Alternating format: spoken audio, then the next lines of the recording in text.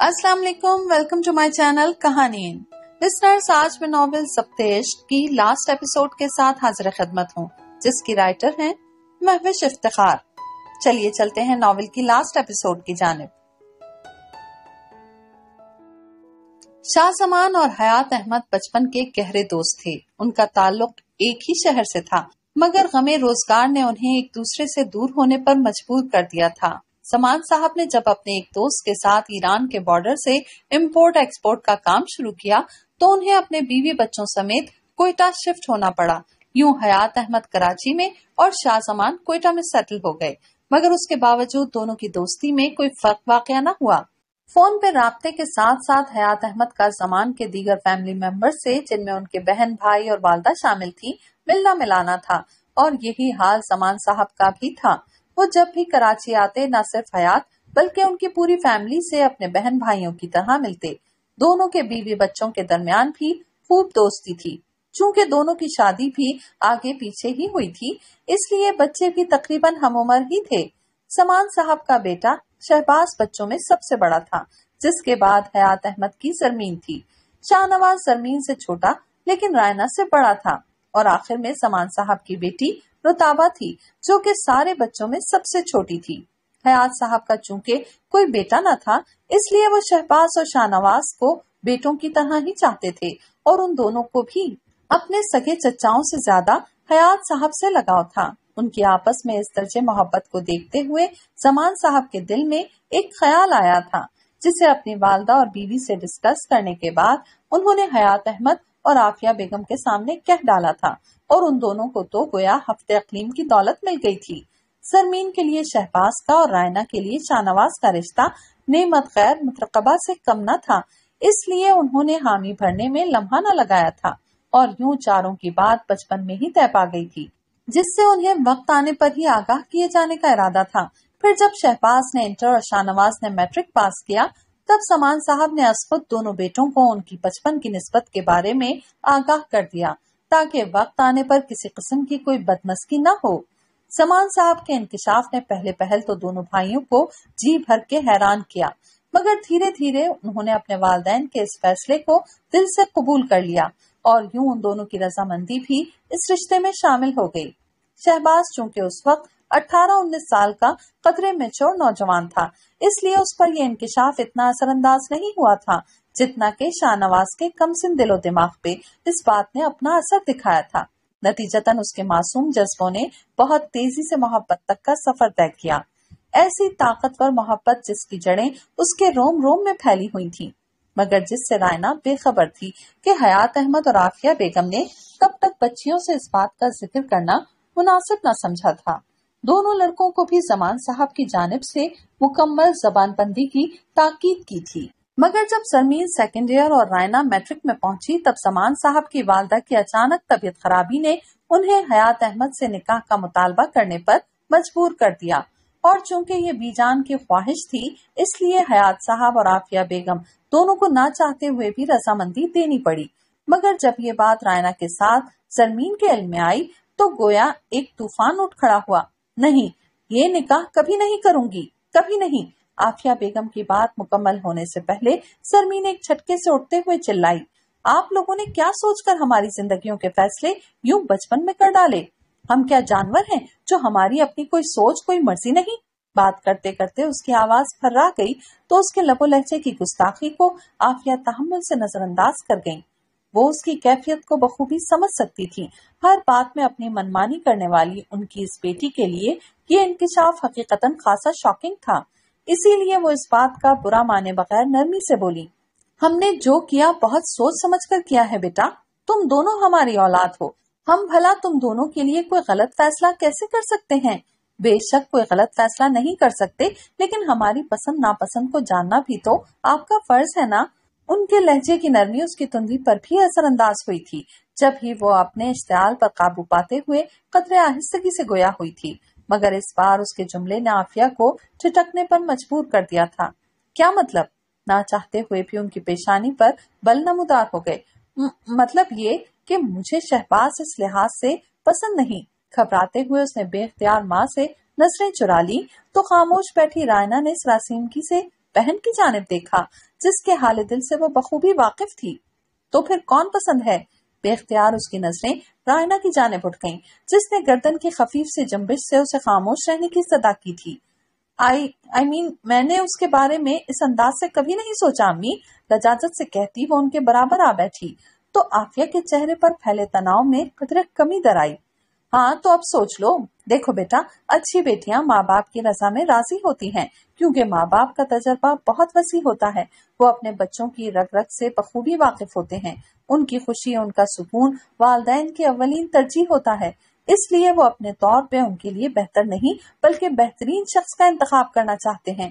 پھر آگے ان کا نصیب۔ شہباز اور شاہ نواز ہمارے ہاتھوں کے پلے بچے ہیں۔ سمان بھائی اور نکھت، تم دونوں کو رتابہ کی طرح چاہتے ہیں۔ عزت، دولت، گھر، بات، کسی چیز میں کوئی کمی نہیں۔ اس لیے بیٹا، تم یہ بے معنی باتیں سوچ کر دل میلا نہ کرو کہ یہ رشتہ ہم نے بچپن میں کیوں طے کیا۔ یا تم لوگوں کو اب تک بتایا کیوں نہیں؟ بلکہ تم دونوں اس رشتے کے مثبت پہلوؤں پہ غور کرو۔ اس بات کا شکر ادا کرو کہ اللہ تعالیٰ نے گھر بیٹھے تم دونوں کو اتنے اچھے شریک سفر دیے ہیں۔ پیار سے اس کے بعد سنوارتے ہوئے انہوں نے انتہائی نرم لہجے میں اپنے جذبات سے لے کر اپنے اس فیصلے کے محرکات تک ہر چیز واضح الفاظ میں بیان کر ڈالی تھی، جسے سن کر رائنا تو دل سے قائل ہو گئی تھی۔ مگر زرمین، پلیز امی، آپ سمجھنے کی کوشش کریں۔ میں، بس زرمین، بہت ہو گیا۔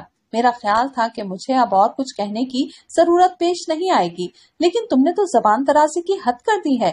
ہمیں سمجھنے کے لیے تمہاری ضرورت نہیں، بلکہ زندگی کی اونچ نیچ سمجھنے کے لیے تمہیں ہماری ضرورت ہے۔ اس لیے بہتر یہی ہے کہ تم یہ سوچنے سمجھنے کا کام ہم پر چھوڑ دو۔ اور اپنی حد میں رہو۔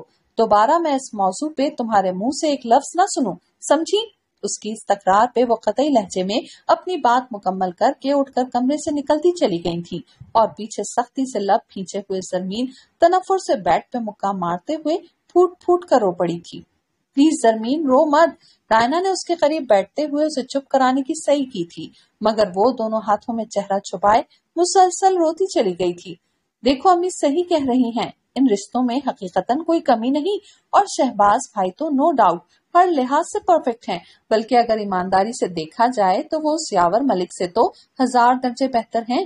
پتہ نہیں تمہیں یہ شخص وہ منہ بناتے ہوئے پہلی بار اپنے دل کی بات زبان پر لانے کی جرت کر سکی تھی، مگر اس سے پہلے کہ وہ اپنا جملہ مکمل کر پاتی سرمین چہرے سے ہاتھ ہٹاتے ہوئے چلائی تھی۔ Shut up just shut up تمہاری ہمت کیسے ہوئی کہ تم یاور کا مقابلہ اس تھرڈ کلاس آدمی سے کرو؟ میں نے اگر اپنی فیلنگز تم سے شیئر کرنے کی غلطی کر ڈالی ہے، تو اس کا یہ مطلب نہیں کہ تم میرے سر پہ چڑھ جاؤ۔ بلند آواز سے بولتے ہوئے وہ اپنی جگہ سے اٹھ کھڑی ہوئی تھی۔ اور اگر ہمارے پیرنٹس ہمیں دوستوں کی طرح ٹریٹ کرتے ہیں، تو اس کا بھی یہ مطلب نہیں کہ تم ان کے سر پر چڑھ جاؤ۔ And for your kind information third class Shahbaz بھائی نہیں، بلکہ تمہارے یاور صاحب ہیں، جنہیں اپنی چھوٹی بہن کی فرینڈ سے عشق لڑاتے ہوئے شرم ہی نہیں آئی۔ اسے یکلخت نہ جانے کیا ہوا تھا جو وہ آج پہلی بار دو بدو جواب دینے پر اتر آئی تھی۔ مگر صدا کی خود سر کے لیے اس کی یہ جرت ناقابل برداشت تھی۔ جب ہی اس کا ہاتھ اٹھا تھا اور رائنا کے دائیں گال پہ اپنا نقش چھوڑ گیا تھا۔ تم اب مجھے تانے دو گی؟ اس نے دانت پیستے ہوئے گال پہ ہاتھ رکھے ہکا بکا کھڑی رائنا کو آگ برساتی نظروں سے دیکھا تھا۔ یہ میری زندگی ہے اور میں اسے صرف اپنی مرضی کے لائف پارٹنر کے ساتھ گزاروں گی۔ And you stay out of my business understand انگلی اٹھا کر وارننگ دیتی وہ کمرے سے نکلتی چلی گئی ساکت کھڑی رائنا کی بے یقین آنکھوں میں آنسو بھر آئے اگلے ہی لمحے وہ قریب پڑے کاؤچ پر گرتے ہوئے پھوٹ پھوٹ کر روتی تھی واٹ کیا کہہ رہی ہو تم یاور ملک کی آنکھیں بے یقینی کے باعث پھٹ سی گئی تھیں وہ رات زمین کے کہنے پر اسے آج دوپہر کالج آف ہونے کے بعد گیٹ سے پک کرتا ہوا آئس کریم پارلر لیے چلا آیا تھا، جبکہ گھر میں اس نے چھٹی کے بعد پریکٹیکل کا بہانہ بنا دیا تھا۔ میں ٹھیک کہہ رہی ہوں، اگلے ہفتے میرا نکاح ہے۔ اپنی سرخ ہوتی ناک ٹشو سے صاف کرتے ہوئے اس نے بھرائے ہوئے لہجے میں اسے مطلع کیا۔ آئی کانٹ بلیو دس تمہارے پیرنٹس ایسا کیسے کر سکتے ہیں؟ اسے اپنا دماغ معاف ہوتا محسوس ہوا تھا۔ یہ سونے کی چڑیا اتنی آسانی سے اس کے ہاتھوں سے نکل جائے گی؟ اسے یقین نہیں آ رہا تھا۔ وہ ایسا کر چکے ہیں۔ آج نہیں بلکہ ہمارے بچپن میں ہی۔ اس نے تنزیہ انداز میں کہا تو یاور بے اختیار سر تھام کر رہ گیا۔ تم نے اپنی امی سے بات کرنے کی کوشش کی؟ چند لمحوں کی خاموشی کے بعد اس نے سر اٹھاتے ہوئے سوال کیا۔ کی تھی؟ انہیں یہ تک کہہ دیا تھا کہ وہ مجھے اس لحاظ سے پسند نہیں، لیکن وہ میری کسی بات کو اہمیت دینے کو تیار نہیں۔ انفیکٹ انہوں نے مجھے وارن کر دیا ہے کہ وہ اب میرے منہ سے اس موضوع پہ ایک لفظ مزید نہیں سنیں گی۔ اس نے بے بس سے لہجے میں جواب دیا تو یاور لب کھینچ کر رہ گیا۔ آپ کہیں تو میں آپ کے متعلق امی سے؟ نہیں، بالکل نہیں۔ یاور نے تیزی سے اسے ٹوک دیا۔ اگر انہیں اس بات کی بھنک بھی پڑ گئی کہ تم کسی اور میں انٹرسٹڈ ہو، تو شاید وہ اگلے ہفتے کے بجائے کل ہی تمہارا نکاح کر دیں گے اور ہم کچھ بھی نہیں کر سکیں گے۔ تو پھر میں انہیں کس طرح روکوں؟ وہ روحانسی ہو گئی تھی اور یاور سوچ میں پڑ گیا تھا۔ ایک طریقہ ہے۔ چند لمحوں کی سوچ بچار کے بعد اس نے سر اٹھایا تو زرمین سوالیہ نظروں سے اس کی طرف دیکھنے لگی۔ اس کے شیطانی دماغ نے اس مصیبت سے نکلنے کا زبردست حل نکالا تھا، جس کے زیر اثر اس کی آنکھوں میں چمک اور چہرے پر اطمینان لوٹ آیا تھا۔ کیا مطلب؟ سرمین نے الجھن بھری نگاہوں سے اس کی جانب دیکھا تو وہ مسکراتے ہوئے اسے اپنے پلان سے آگاہ کرنے لگا تھا۔ آنے والے دنوں میں بڑی عجیب سی بات ہوئی تھی۔ سرمین نے اس موضوع پہ مزید کوئی بحث، کوئی رونا دھونا نہیں مچایا تھا، جس پہ آفیہ نے تو اطمینان کا سانس لیا تھا، لیکن رائنا حیران ہونے کے ساتھ ساتھ الجھ بھی گئی تھی۔ اس کے لیے زرمین جیسی ضدی لڑکی کا یوں اچانک خاموش ہو جانا خاصے اچمبے کا باعث تھا۔ مگر وہ چاہ کر بھی اپنی حیرت کو زبان نہیں دے سکی تھی کہ زرمین اس سے مکمل طور پر بات چیت بند کیے ہوئے تھی۔ گھر میں اب فنکشن کی تیاریاں سور پکڑتی جا رہی تھی چونکہ یہ صرف نکاح کی تقریب تھی، اس لیے بہت بڑے پیمانے پر ارینج نہیں کی جا رہی تھی۔ مگر نانا کرتے ہوئے بھی خاندان والوں، قریبی رشتے داروں اور چند ایک دوستوں کی اچھی خاصی گیدرنگ ہو گئی تھی۔ راشد اور اس کی فیملی کے سوا کوئی بھی مہمان شہر کے باہر سے آنے والا نہ تھا۔ زمان صاحب بھی اپنی فیملی سمیت نکاح سے ایک دن پہلے پہنچنے والے تھے۔ دونوں بچیوں کی پڑھائی کا زیادہ حرج نہ ہو، اس لیے آفیہ بیگم نے انہیں نکاح سے محض دو دن پہلے چھٹیاں لینے کی تاکید کی تھی، جو کہ کل سے شروع ہونے والی تھی سو آج ان دونوں کا اپنے اسکول اور کالج میں آخری دن تھا، جس کا روٹین کے مطابق آغاز ہوا تھا۔ نماز اور تلاوت سے فارغ ہو کے آفیہ سات بجے کے قریب حیات صاحب کو جگانے کے بعد ان دونوں کے کمرے میں چلی آئی تھی دروازے میں کھڑے کھڑے انہیں ایک دو آوازیں دے کر وہ خود ناشتے کی تیاری کے سلسلے میں کچن میں چلی گئی تھی جب تھوڑی دیر بعد رائنا کے زور زور سے پکارنے پر وہ اور حیات احمد دونوں بوکھلا کر ان کے کمرے کی جانب بھاگے تھے۔ ایک چھٹکے سے دروازے کو دھکیلتے وہ آگے پیچھے کمرے میں داخل ہوئے تھے۔ مگر روتی ہوئی رائنا اور بے سود پڑی زمین کو دیکھ کے ان دونوں کے پیروں تلے گویا زمین نکل گئی تھی۔ زندگی قطروں کی صورت اس کے قافل وجود میں اتاری جا رہی تھی، جبکہ اس کے سرحانے موجود تینوں نفوس شوق اور بے یقینی کے زیر اثر بالکل خاموش بیٹھے تھے۔ رائنا اور آفیہ بیگم کا ڈر اور پریشانی تو پھر بھی آنسو کی صورت بہ رہا تھا، لیکن حیات احمد تو دونوں ہاتھوں میں سر کرائے بالکل ساکت بیٹھے تھے۔ سرمین نے اس رشتے پہ ماں سے بحث کی تھی۔ اتنا تو ان کے علم میں تھا، لیکن اتنا بڑا قدم۔ سوچ سوچ کے ان کا دماغ معاف ہو چلا تھا، لیکن کوئی جواز انہیں سجائی نہ دے رہا تھا۔ بچہ جس کے وہ کسی اور کو چاہتی ہے۔ اور یہ جواب ان کے لیے ناقابل برداشت تھا۔ وہ بھی اس صورت میں جبکہ دو دن بعد نکاح تھا اور اگر اس بات کی بھنک بھی سامان کو لگ جاتی تو، اور اس تو کے آگے وہ سوچنا بھی نہیں چاہتے تھے۔ ان کی اپنی بیٹی نے تو ان کی عزت کے ساتھ ساتھ اپنی اور اپنی بہن کی زندگی داؤ پر لگانے میں کوئی کسر نہیں چھوڑی تھی۔ مگر یہ اللہ کی ان پہ خاص رحمت ہوئی جو ان کے دوست ڈاکٹر مسر سے ان کا بر وقت رابطہ ہو گیا تھا اور انہوں نے نہ صرف پوری سچویشن کو ہینڈل کر لیا تھا، بلکہ پولیس کیس سے بچنے کے لیے اسے فوڈ پوائزنگ کا کیس بھی بنا دیا تھا۔ ان دونوں نے بھی خاندان میں سب کو یہی جواب دینے کا فیصلہ کیا تھا، جس میں حیات صاحب اور آفیہ بیگم کے بہن بھائی تک شامل تھے، کیونکہ اس معاملے میں کسی پر بھی بھروسہ کرنا بہت بڑا رسک لینے کے مترادف تھا۔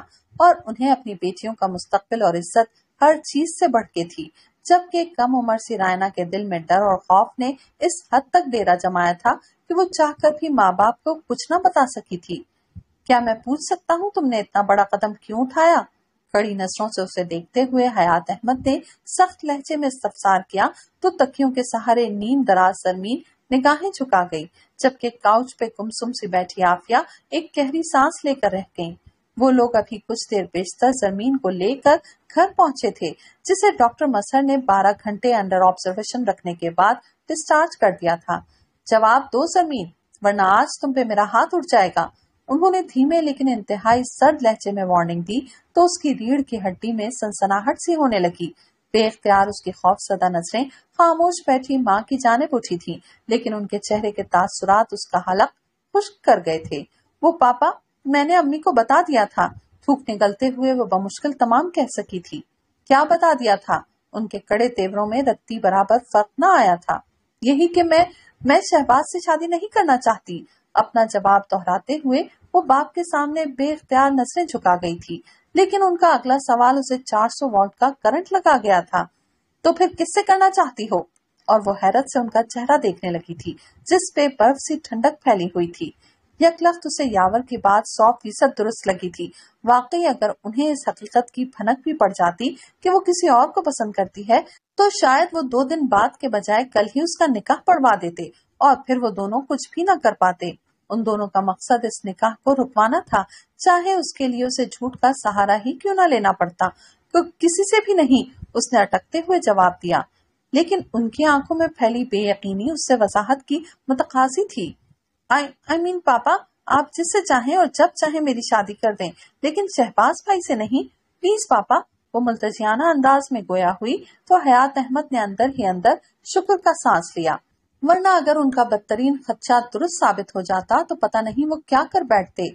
دوسری جانب یہی حال آفیہ بیگم کا تھا، جنہوں نے اپنی تربیت پہ حرف نہ آنے پہ دل میں ڈھیروں شکر ادا کیا تھا۔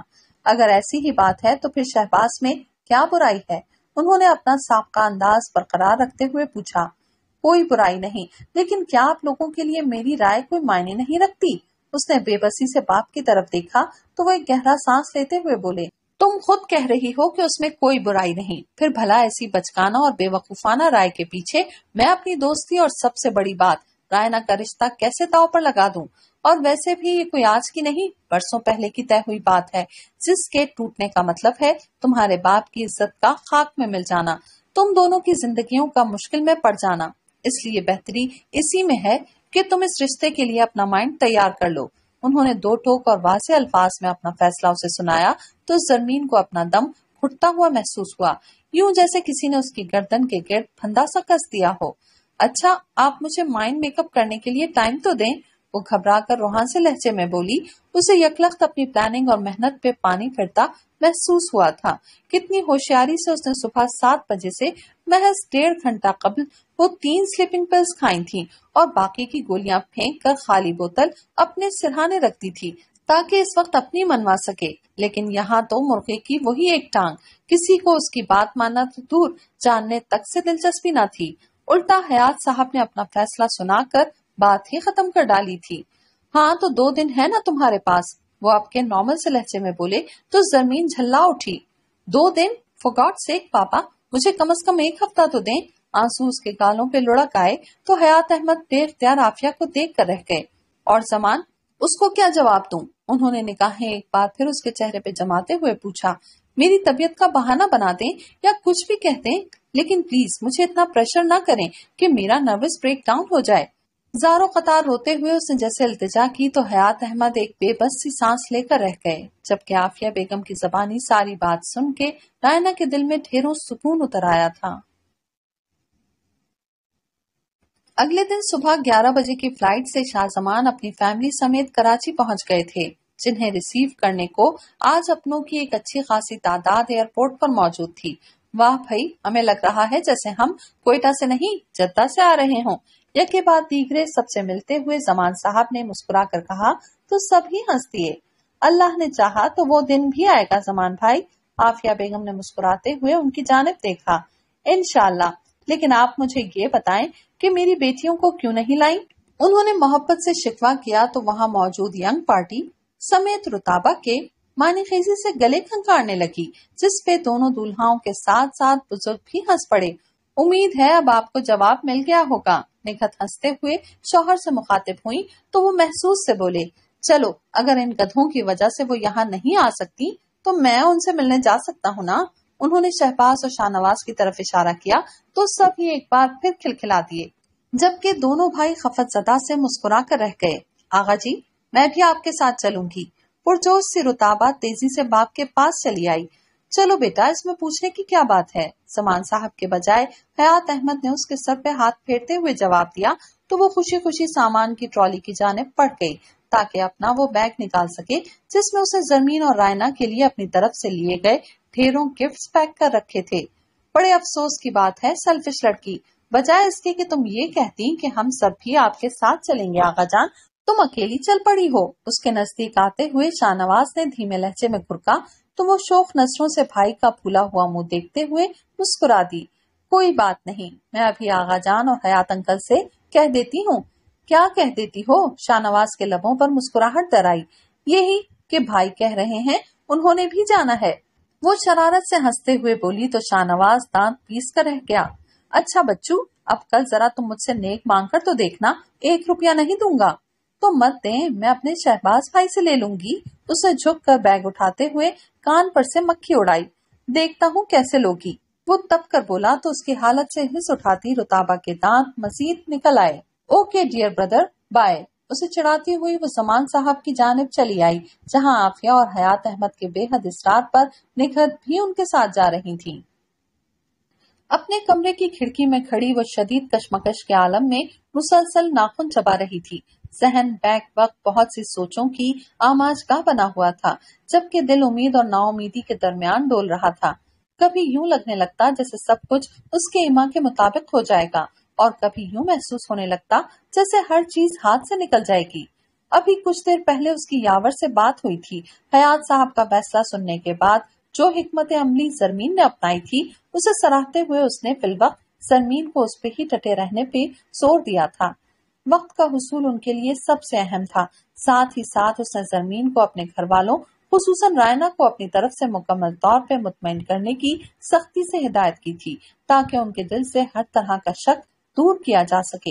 ان کی کامیابی کا انحصار فی الوقت سرمین پہ تھا۔ اسے ہر قیمت پہ کل ہونے والے نکاح کو روکنا تھا اور یہی ذمہ داری اسے پتنگے لگائے ہوئے تھی کہ باہر کیف آخری فیصلہ تو شاہ زمان صاحب کا ہی ہونا تھا۔ اس نے تو حیات احمد اور عافیہ بیگم کے سامنے اپنا پورا زور لگا لیا تھا۔ اب آگے جو بھی کرنا تھا، وہ تو ان دونوں نے ہی کرنا تھا۔ اور یہی سوچ سوچ کے اس کا دماغ شل ہونے لگا تھا۔ پتہ نہیں انہوں نے بات کی بھی تھی یا نہیں۔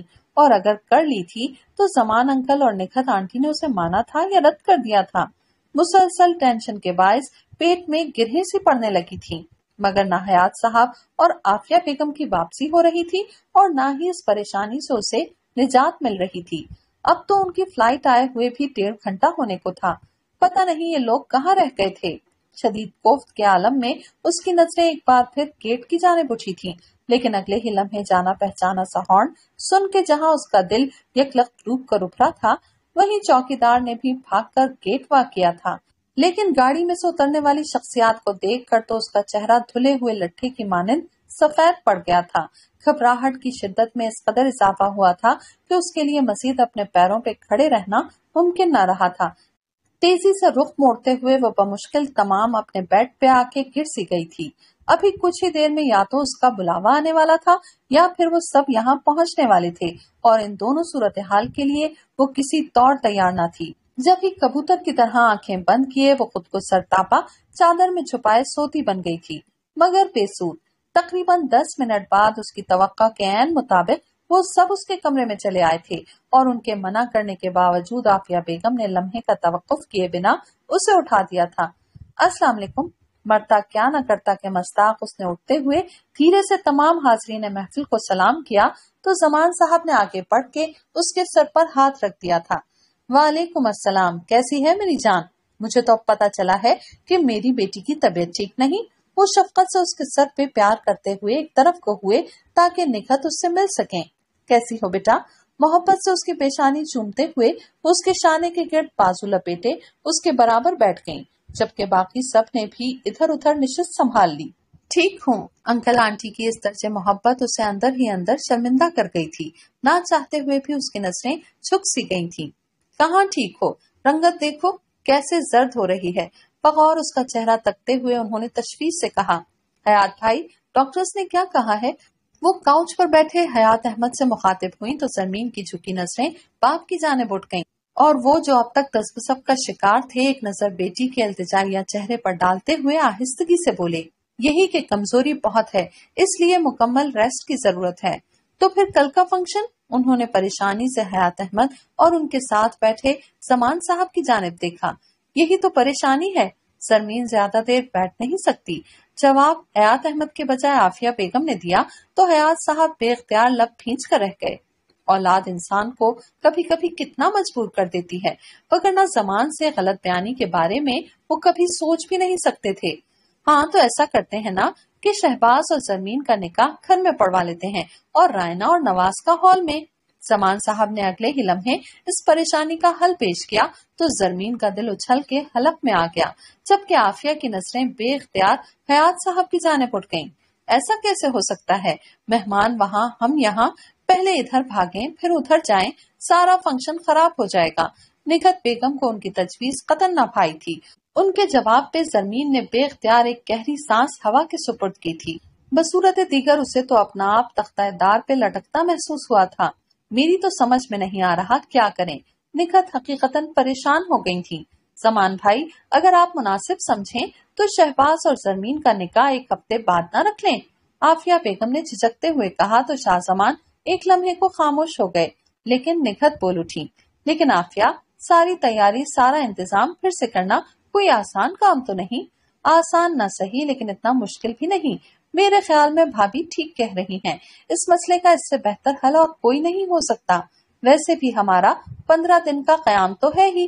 اس لیے زمین کی صحت یابی تک ویٹ کر لینے میں کوئی حرج نہیں۔ سمان صاحب نے ہلکے پھلکے انداز میں جواب دیا، تو نگت خاموش ہو گئیں۔ انہیں یوں سب کے سامنے اپنی بات کی نفی خاصی محسوس ہوئی تھی۔ جب ہی وہ یکلخ چپ کر گئی تھی ان کی یہ خاموشی کسی اور نے نہ سہی، لیکن آفیہ نے ضرور محسوس کر لی تھی اور ان کا دل جیسے سہم سا گیا تھا۔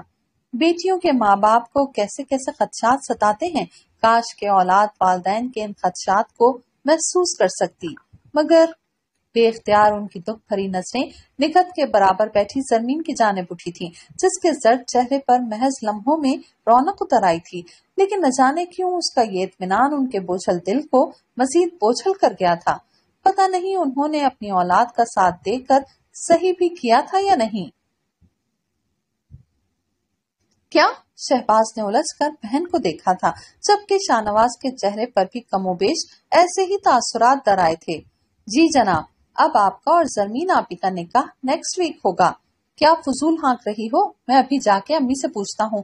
وہ تیزی سے اٹھ کر کمرے سے باہر نکل گیا تو نواز بھی اس کے پیچھے نکت بیگم اور زمان صاحب کے کمرے میں چلا آیا، جہاں نکت خاصے آف موڈ میں بیڈ پہ بیٹھی تھی۔ جبکہ زمان صاحب ان کے مقابل صوفے پہ بیٹھے کچھ بول رہے تھے۔ انہیں آگے پیچھے کمرے میں آتا دیکھ کر وہ یکدم خاموش ہو گئے تھے۔ امی، یہ رتابہ کیا کہہ رہی ہے؟ شہباز نے کمرے کے وسط میں رکتے ہوئے ماں سے استفسار کیا تو وہ بیزاری سے رخ موڑ گئیں۔ مجھے نہیں پتا، اپنے آغا جی سے پوچھو۔ ادھر آؤ بیٹا، تمہاری ماں کا مزاج تو خاصا گرم ہے اس وقت۔ انہوں نے مسکرا کر ایک نظر نکھت بیگم کو دیکھا اور پھر رسان سے ساری بات دونوں بیٹوں کو کہہ سنائی۔ اب تم بتاؤ، اگر یہی صورتحال اچانک ہمارے گھر میں ہو جاتی تو کیا ہم فنکشن ڈیلے نہ کرتے؟ انہوں نے شاہ نواز کی جانب دیکھتے ہوئے سوال کیا۔ بالکل کرتے۔ آپ نے ٹھیک کیا آقا جی جو ڈیٹ آگے کر دی۔ اپنے دل میں پھیلتی مایوسی کو نظر انداز کیے، شہباز باری سے بولا، تو زمان صاحب جتاتی نظروں سے سامنے بیٹھی، نکھت کو دیکھنے لگے۔ دیکھ لیں بیگم صاحبہ، آپ سے زیادہ سمجھدار تو ہمارا بیٹا ہے۔ کم از کم وہ سچویشن کو انڈرسٹینڈ تو کر رہا ہے۔ انہوں نے محبت سے اس کی پیٹ تھپ تھپائی تو وہ دھیمے سے مسکرا دیا۔ آغا جی اگر آپ برا نہ مانے تو میں حیات انکل کی طرف ایک چکر لگاؤں۔ نواز کے اشارہ کرنے پر اس نے آہستگی سے پوچھا، تو اپنے لخت جگر کی اس طرز سعادت مندی انہیں بے اختیار مسکرانے پر مجبور کر گئی تم کیا میری طرف سے بے شک یہ بھی چکر لگا آئے؟ انہوں نے شاہ نواز کی جانب دیکھا تو مارے بے یقینی کے اس کی آنکھیں پھیل سی گئیں۔ بے اختیار اس نے حیرت سے ساتھ بیٹھے بھائی کی طرف دیکھا، مگر اگلے ہی لمحے نکھت بیگم کی آواز نے اس کی ساری خوشی پہ پانی پھیر دیا۔ کوئی ضرورت نہیں، سب باتیں بنائیں گے۔ فون پہ خیریت پوچھ لو۔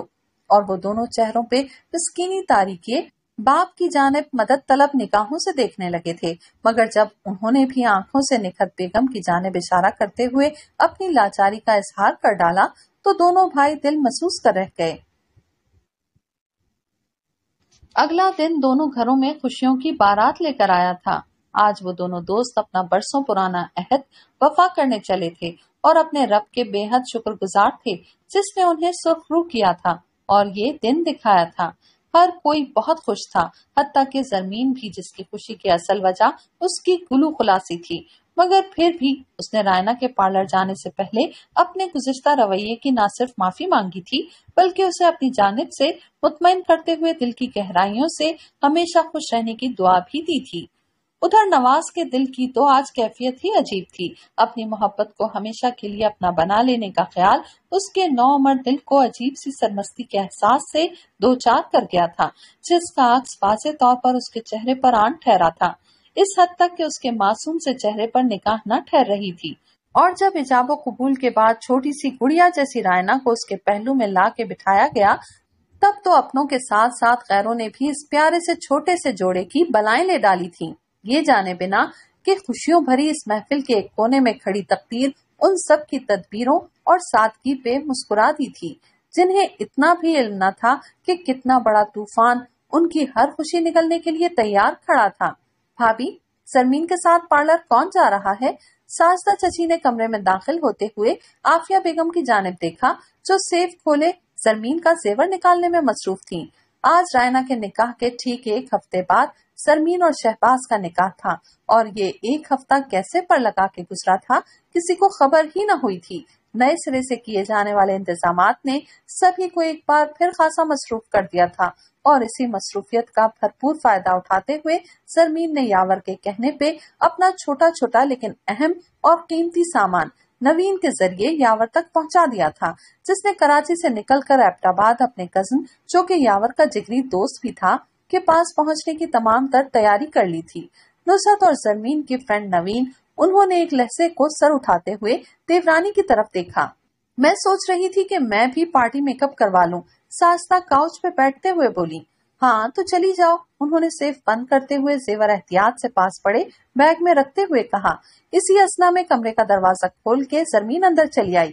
جی امی، آپ نے بلوایا تھا؟ ہاں بیٹا، ادھر آؤ۔ اسے دیکھ کر انہوں نے ایک بار پھر سارا زیور نکال باہر کیا۔ بیٹا، یہ تمہارا ڈائمنڈ سیٹ رنگز اور زرکون کے کڑے ہیں۔ باقی گولڈ کی چوڑیاں اور دو سیٹ میں نے نہیں نکالے۔ آپ ایسا کریں کہ وہ بھی رکھ دیں۔ سرمین نے خود سوچتے ہوئے کہا، جب پہننے نہیں تو لے کر جانے کی کیا ضرورت ہے؟ انہوں نے تعجب سے اس کی طرف دیکھا۔ آپ رکھ دینا، میں تیار ہونے کے بعد ڈسائڈ کروں گی کہ ساری جویلری ڈائمنڈ کی پہنوں یا گولڈ کی۔ اس نے مسکراتے ہوئے کہا، تو آفیہ بیگم کی پیشانی پہ بل پڑ گئے۔ تمہارا دماغ تو خراب نہیں ہو گیا۔ کوئی چیز گم ہو گئی تو نہیں گم ہوگی نا۔ آپ پلیز رکھ دیں۔ چچی، آپ امی سے کہیں نا۔ وہ ضدی لہجے میں بولی، تو آفیہ بیگم ساستہ کو دیکھ کر رہ گئی چوٹ کر ان کے پاس چلی آئی بھابھی ٹھیک کہہ رہی ہے بیٹا۔ خواہ مخواہ کچھ گم ہو گیا تو بیٹھے بٹھائے نئی مصیبت پڑ جائے گی۔ انہوں نے رسان سے اسے سمجھایا، لیکن بے سود۔ نہیں گم ہوگا، میں خیال رکھوں گی۔ پھر خالہ اور نوین بھی تو میرے ساتھ ہوں گی۔ میں انہیں بیگ دے دوں گی۔ وہ ایک ہی بات کی تکرار کیے گئی۔ تو آفیہ چھنچلا کر ساجدہ سے بولی ساجدہ تم ایسا کرو کہ ان کے ساتھ چلی جاؤ۔ میں گولڈ کی جیولری تمہارے حوالے کروں گی اور ڈائمنڈ کی جیولری نصرت سنبھالے گی۔ اس لڑکی نے تو مجھے آجز کر دیا ہے۔ وہ اسے کھا جانے والی نسلوں سے کوٹتے ہوئے پلٹ کر ایک بار پھر سیف کھولنے لگی۔ تو زرمین دل ہی دل میں اپنی کامیابی پر چھوم اٹھی۔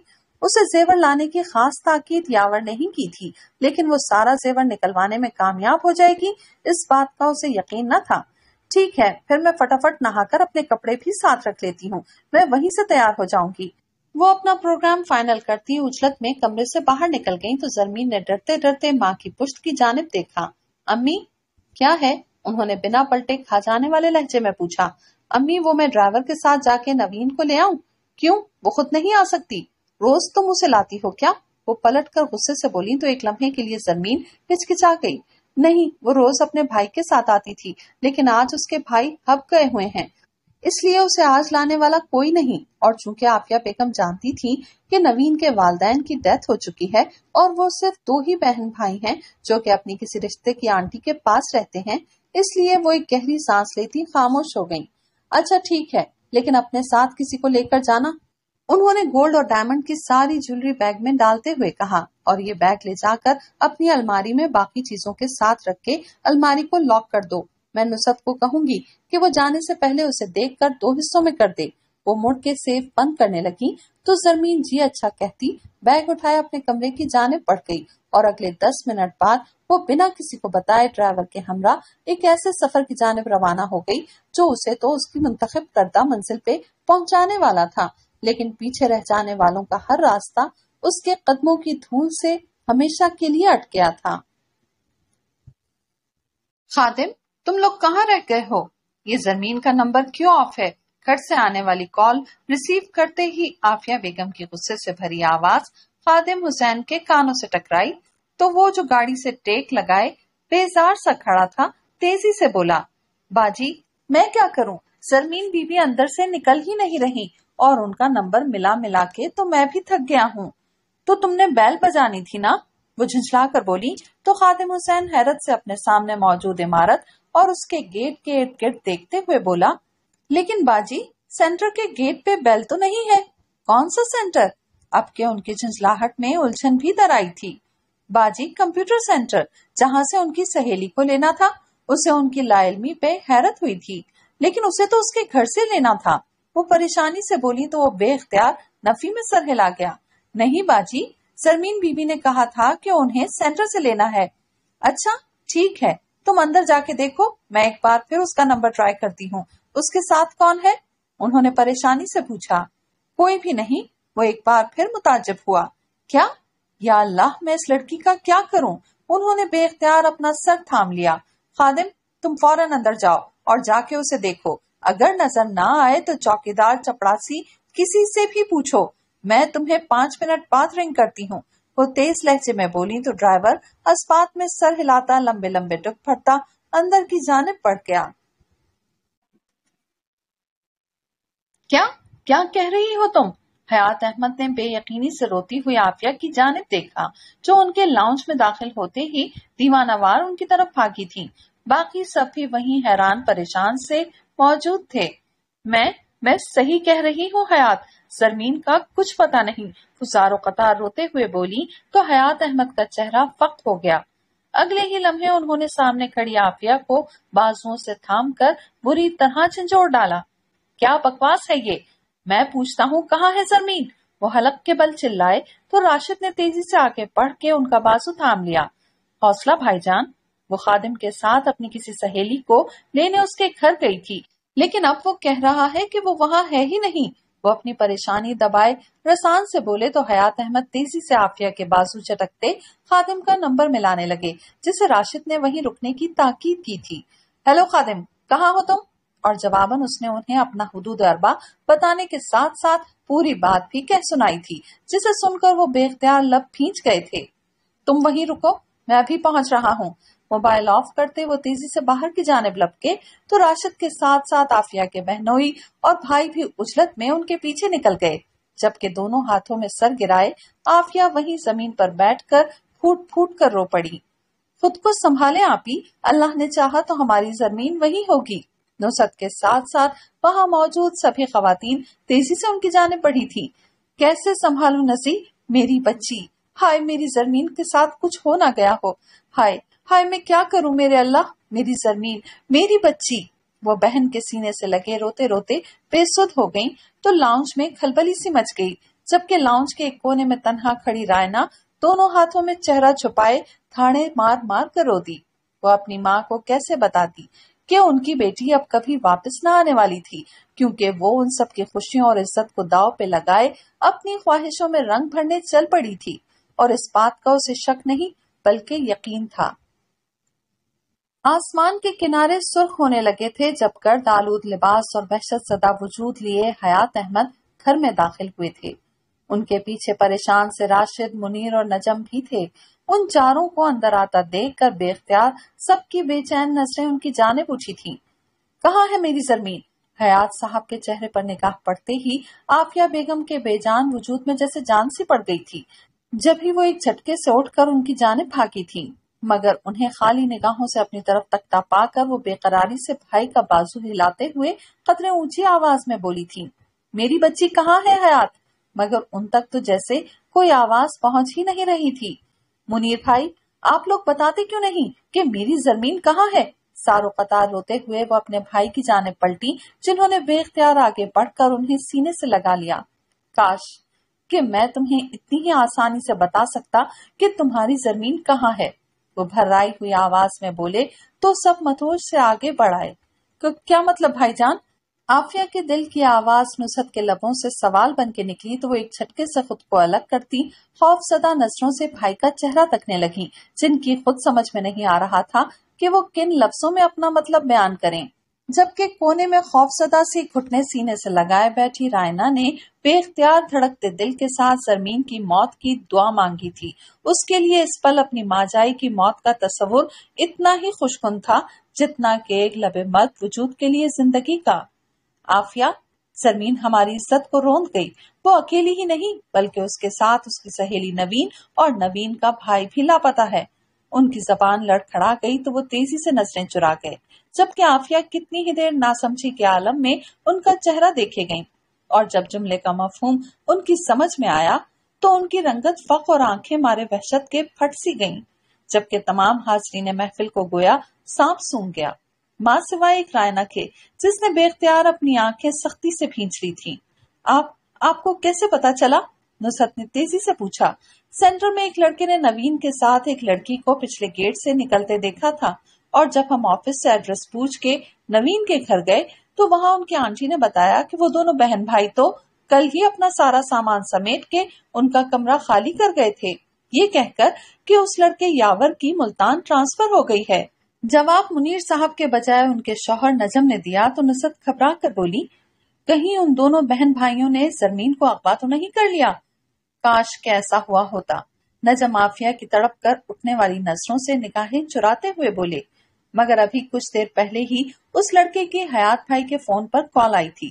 اس خبیص نے نہ صرف اپنی ضلالت کا اعتراف کیا ہے، بلکہ لاکھوں کی مالیت کے اس کے زیور کے لیے بھی انتہائی بے شرمی اور جرت سے شکریہ ادا کیا ہے۔ جو وہ بے حیا لڑکی اس گھر سے اٹھا لے گئی ہے۔ نجم سرخ چہرے کے ساتھ گویا ہوئے تو نصرت شوہر کے منہ سے یہ ساری تفصیل سن کے شرم سے کٹ کر رہ گئیں۔ جبکہ کسی بدھ کی طرح ساکت کھڑی آفیہ کی نگاہوں میں یک لخت وہ منظر گھوم گیا جب سرمین ان سے سارا زیور نکالنے کی ضد کر رہی تھی۔ سرمین، تو نے ہمارے بھروسے کو بے امان کیا۔ خدا تجھے کبھی اپنی امان نہ بخشے۔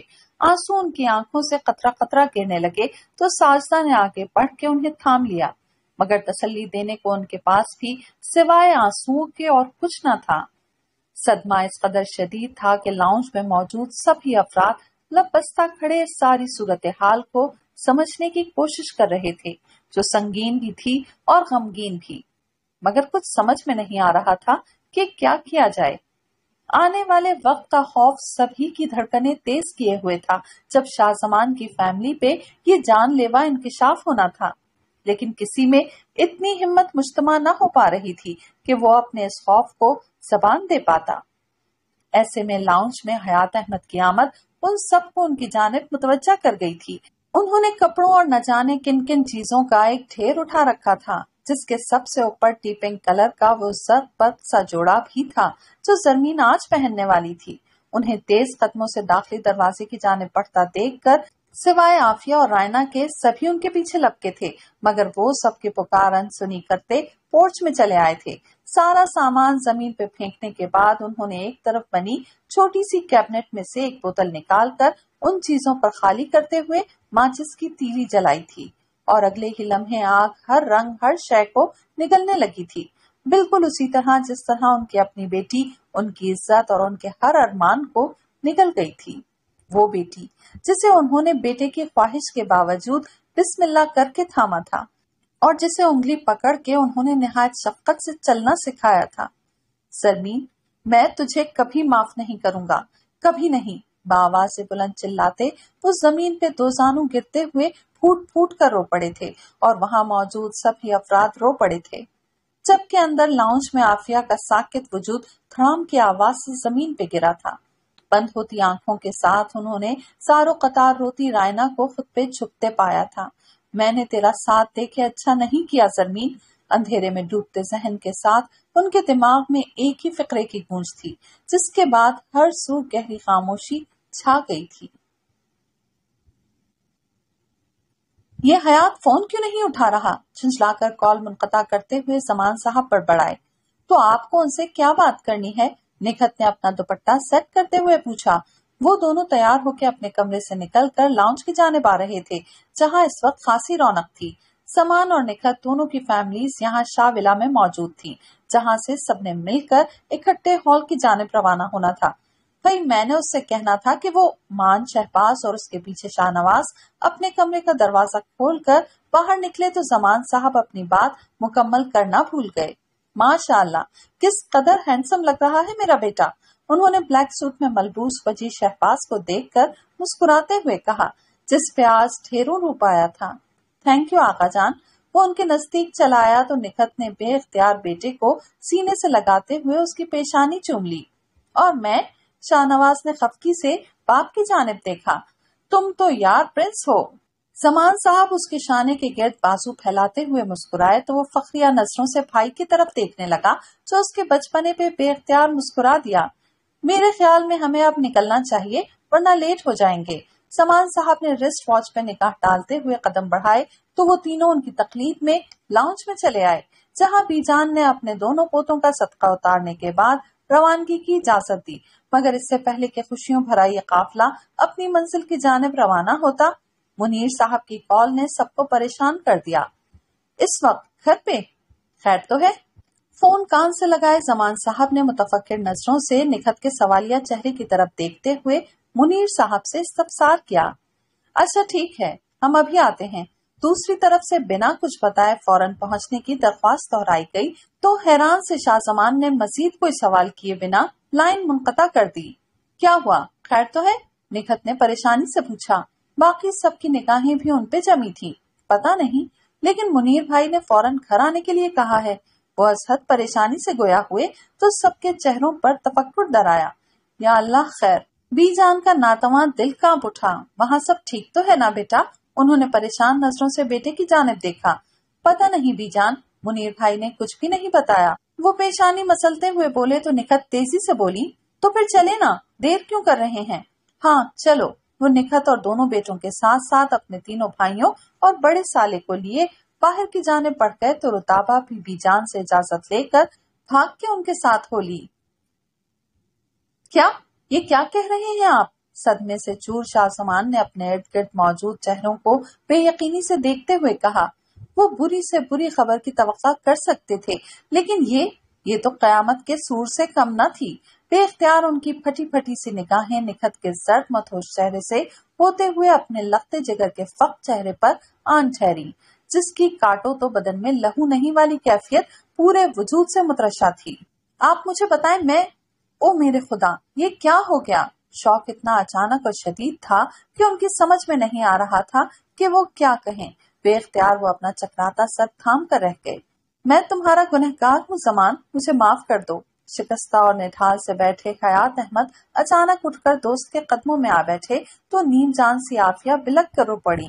جبکہ متورم چہرہ اور الجھے بال لیے کھڑی رائنا اپنی سسکیاں دبانے کو لبوں پہ ہاتھ رکھ گئی اور شاہ زمان وہ سر اٹھائے ہوئے فقط خالی اور گمسم سی نظروں سے انہیں دیکھنے لگے۔ تو کچھ بولتا کیوں نہیں زمان؟ ان کا گھٹنا تھامتے ہوئے حیات صاحب نے روحان سے لہچے میں استدا کی تو نکت بے اختیار چلا اٹھی۔ کیا بولیں؟ اب بولنے کو کچھ رہ گیا ہے کیا؟ ان کا چہرہ غصے کی تپش سے سکھ اور آنکھیں تکلیف کی شدت سے نم ہو چلی تھی میں پوچھتی ہوں، اگر آپ کی بیٹی کی مرضی کہیں اور تھی، تو آپ لوگوں نے ہمارا تماشا کیوں لگوایا؟ ہمارے بیٹے کی تابے داری کو اس کی رسوائی کا سامان کیوں بنا دیا؟ شدت جذبات سے ان کی آواز پھٹ سی گئی تو حیات احمد تڑپ کے گویا ہوئے۔ خدا کی قسم بھابی ہم بھی لا علم تھے۔ آپ کی طرح ہم نے بھی بے خبری میں مار کھائی ہے۔ اگر مجھے اس بدبخت کے برے ارادوں کا رتی برابر بھی علم ہوتا تو میں اس بدذات کا گلا اپنے ہاتھوں سے کھونٹ دیتا، مگر آپ کی اور اپنی عزت پہ حرف نہ آنے دیتا۔ آنسو ٹوٹ ٹوٹ کے ان کے چہرے سے ہوتے ہوئے ان کے گریبان میں جذب ہو رہے تھے۔ مگر نکھت بیگم کے چہرے پر پھیلے تنفر میں کوئی کمی واقع نہ ہوئی۔ بیٹی کے ماں باپ اور اتنی بے خبری۔ آفرین ہے۔ انہوں نے نفرت سے ہنکارا بھرا تو حیات احمد لب پھینچ کر رہ گئے۔ ایسے ماں باپ کو تو ڈوب مرنا چاہیے۔ جنہیں یہ تک نہ پتا ہو کہ ان کی اولاد ان کی ناک کے نیچے کیا گل کھلا رہی ہے۔ ان کا ہر ہر لفظ سہر میں بجھے تیر کی مانند آفیہ اور حیات کے جگر کو چھلنی کر گیا تھا۔ مگر وہ لب سیے گردنے جھکائے مجرموں کی طرح ان کی نفرتیں سہنے پر مجبور تھے۔ صرف اس لیے کہ جن کی بیٹیاں ایک غیر شخص کی محبت میں اپنے پیدا کرنے والوں کی محبت کو فراموش کر کے انہیں ان کی شفقتوں کے بدلے میں ذلتوں کے توق دے جاتی ہیں، وہ بد نصیب پھر کبھی دنیا کے سامنے سر اٹھا کر نہیں جی سکتے۔ آپ صحیح کہہ رہی ہیں، ہم جیسے ماں باپ کو زندہ رہنے کا کوئی حق نہیں، جن کا جرم صرف اتنا ہے کہ انہوں نے اپنی اولاد کو نہ صرف پیار دیا بلکہ مان اور اعتبار بھی دیا۔ اس یقین کے ساتھ کہ وہ اس کی حفاظت کریں گے۔ مگر میں تسلیم کرتا ہوں کہ میں غلط تھا۔ میری سوچ غلط تھی۔ میرا نظریہ غلط تھا۔ میں آپ کا سامان اور شہباز کا مجرم ہوں۔ آپ لوگ مجھے جو چاہیں سزا دے سکتے ہیں۔ روتے ہوئے حیات احمد نے ہاتھ باندھ دیے تو رائنا نے تیزی سے دونوں ہاتھوں میں چہرہ چھپا لیا۔ اس کے باپ کا اعتراف جرم، اس کے دل اور روح پہ منو بوجھ ڈال گیا تھا۔ اتنا بوجھ کے بے اختیار اسے اپنا دم گھٹتا محسوس ہوا تھا۔ جبکہ اپنے بھائی کے برابر غم و غصے کی عجیب سی کیفیت میں گھرے کھڑے شاہ نواز کے دل کو بے اختیار کچھ ہوا تھا۔ چاہے کچھ بھی تھا، حیات احمد نے ان دونوں بھائیوں کو ہمیشہ اپنی اولاد کی طرح چاہا تھا۔ سو ان کی اس درجے تکلیف اور رسوائی اس کا دل کاٹ کر رہ گئی تھی، مگر وہ چاہ کر بھی آگے نہ بڑھ سکا تھا۔ بے اختیار لب پھینچے اس نے اپنی نم آنکھیں پھیر لی تھی ہم نے تمہیں کیا سزا دینی ہے حیات؟ لیکن میں صرف اتنا کہوں گا کہ تم نے میرے ساتھ اچھا نہیں کیا۔ حیات صاحب کے چہرے پر نگاہیں جمائے، بالآخر زمان صاحب انتہائی بوجھل لہجے میں گویا ہوئے تو بے یقینی کے باعث حیات احمد کے آنسو منجمد سے ہو گئے۔ زمان، تمہیں تمہیں بھی لگتا ہے کہ مجھے ہر بات کا علم تھا؟ تمہیں علم تھا یا نہیں؟ اس بحث کا اب کوئی فائدہ نہیں تم مجھے صرف یہ بتاؤ کہ جب تم لوگوں نے زمین کو اس رشتے کے بارے میں بتایا تھا، تب اس نے کیا جواب دیا تھا؟ لا یعنی بحث کو طول دینے کے بجائے شاہ زمان نے دو ٹوک انداز میں اصل مدعے کی جانب پیش رفت کی تو سب کی سوالیہ نگاہیں حیات احمد پہ آن ٹھہری جبکہ آفیہ کی آنکھوں میں خوف اتر آیا۔ اس بات کا نہیں کہ انہوں نے کسی قسم کی کوئی غلط بیانی کی تھی، بلکہ اس بات کا کہ کہیں حیات صاحب کا جواب سن کے شاہ زمان اور باقی سب لوگ انہیں ہی نہ قصوروار کردانے لگے جبکہ حقیقت اس کے بالکل برعکس تھی۔ وہ اس رشتے کے لیے تیار نہیں تھی، لیکن اس کی وجہ اس نے ہمیں کچھ اور۔ حیات احمد بنا کسی ہچکچاہٹ کے گویا ہوئے تھے، لیکن زمان صاحب نے ہاتھ اٹھاتے ہوئے انہیں مزید کچھ کہنے سے روک دیا۔ بس، بات ختم۔ پھر تم اب کیوں یہ دہائی دیتے پھر رہے ہو کہ تم نے بے خبری میں مار کھائی؟ جبکہ روز اول سے تم یہ بات جانتے تھے کہ تمہاری بیٹی اس رشتے پر راضی نہیں تھی۔ پھر تم نے مجھے اور میرے بیٹے کو کیوں خوار کیا؟ کیوں مجھ سے یہ حقیقت چھپائی کہ زمین اس شادی کے لیے تیار نہیں؟ اس تمام عرصے میں پہلی بار وہ بلند آواز میں چلائے تو ان کی اس درجے بدگمانی پہ حیات انہیں دکھ اور بے بسی سے دیکھ کر رہ گئے، جبکہ نکھت نے تنزیہ انداز میں گردن کو خفیف سا جھٹکا دیتے ہوئے تنفر سے نڈھال بیٹھی آفیہ کی طرف دیکھا، جو اپنے ڈر کو سچا ہوتا دیکھ کر فخت ہو گئی تھی۔ جبکہ شہباز اور نواز دونوں شوق سے حیات احمد کی جانب دیکھنے لگے، جن کے جواب نے ان کے دلوں پر بڑی کاری سرپ لگائی تھی۔ شہباز نے ایک گہری سانس کھینچتے ہوئے اپنے بڑھتے ہوئے استعال پر قابو پانے کی صحیح کی تھی۔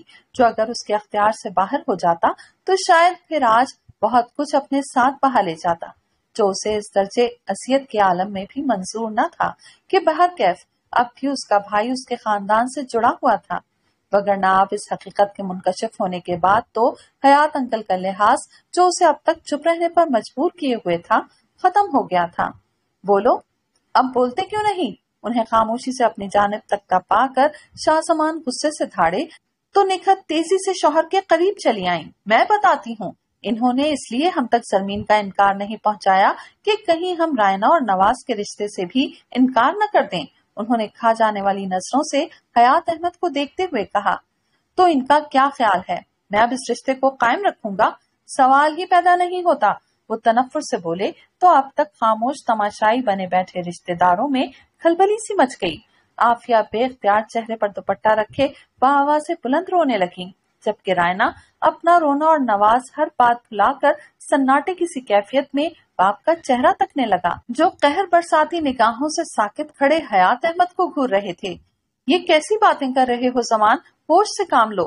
نکھت کے بڑے بھائی نے آگے بڑھتے ہوئے انہیں گرکا تو وہ تیز لہجے میں بولے، ہوش سے ہی تو کام لے رہا ہوں۔ اگر کل کو یہ بھی کسی کے ساتھ بھاگ گئی، تو میرا تو پورا خاندان تباہ ہو جائے گا نا؟ الفاظ تھے یا آگ۔ رائنا کا پورا وجود لمحوں میں پھڑ پھڑ چلنے لگا تھا۔ تڑپ کر اس کی نظریں نواز کی جانب اٹھی تھی جس نے اتنی سختی سے لب کھینچے تھے کہ نچلا لب کٹ گیا تھا، جبکہ آفیہ تو تڑپنا تک بھول گئی تھی سمان حیات احمد کا صبر جواب دے گیا تو وہ بے اختیار چلا اٹھے۔ میری پاک باز بچی پہ اتنی بڑی تہمت مت لگاؤ۔ تہمت؟ انہوں نے کاٹدار نظروں سے حیات کی جانب دیکھا۔ یہ تمہارے نزدیک تہمت ہوگی، لیکن میرے نزدیک یہ ایک بہت بڑی سچائی ہے۔ جس گھر کی ایک بیٹی نے یہ گل کھلائے، اس گھر کی دوسری بیٹی پہ بھلا کوئی کیوں اعتبار کرے گا؟ مجھے کسی پاگل کتے نے نہیں کاٹا کہ میں ایک ہی جگہ سے دوسری مرتبہ دھوکا کھانے کے لیے تیار ہو جاؤں گا۔ جن لڑکیوں نے ماں باپ کی عزت کو بیچ چوراہے پہ نیلام کر دیا، وہ بھلا شوہر اور سسرال کی عزت کی کیا حفاظت کریں گی؟ تم سے رشتے داری جوڑ کے مجھے اپنی آنے والی نسلوں کو برباد نہیں کرنا۔ اس لیے میں ابھی اسی وقت رائنا اور شاہ نواز کا رشتہ ختم کرتا ہوں۔ وہ انتہائی سخت اور سرد لہجے میں بولے تو پورے لاؤنج میں سناٹا سے چھا گیا، جبکہ ان کے لفظوں کی مار سہتی رائنا نڈھال سی زمین پر گھٹنوں کے بل گر گئی۔ اسے یوں مسلوب دیکھ کر جہاں کتنی ہی سسکیاں بلند ہوئی تھیں، وہی ساکت کھڑا نواز بھی جیسے ہوش میں آ گیا تھا۔ آغا جان، یہ یہ آپ کیا کہہ رہے ہیں؟ وہ بجلی کسی تیزی سے درمیانی فاصلہ طے کرتا باپ کے نزدیک چلا آیا۔ محبت نمی بن کے اس کی متوش نگاہوں سے چھلکنے کو بےتاب تھی۔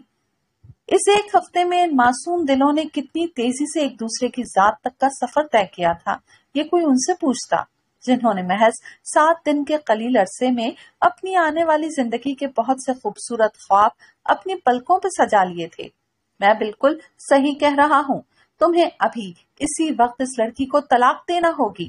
ان کی برفیلی نگاہیں اس پہ آن ٹھہری تو وہ بے یقین سا کتنے ہی قدم پیچھے ہٹ گیا۔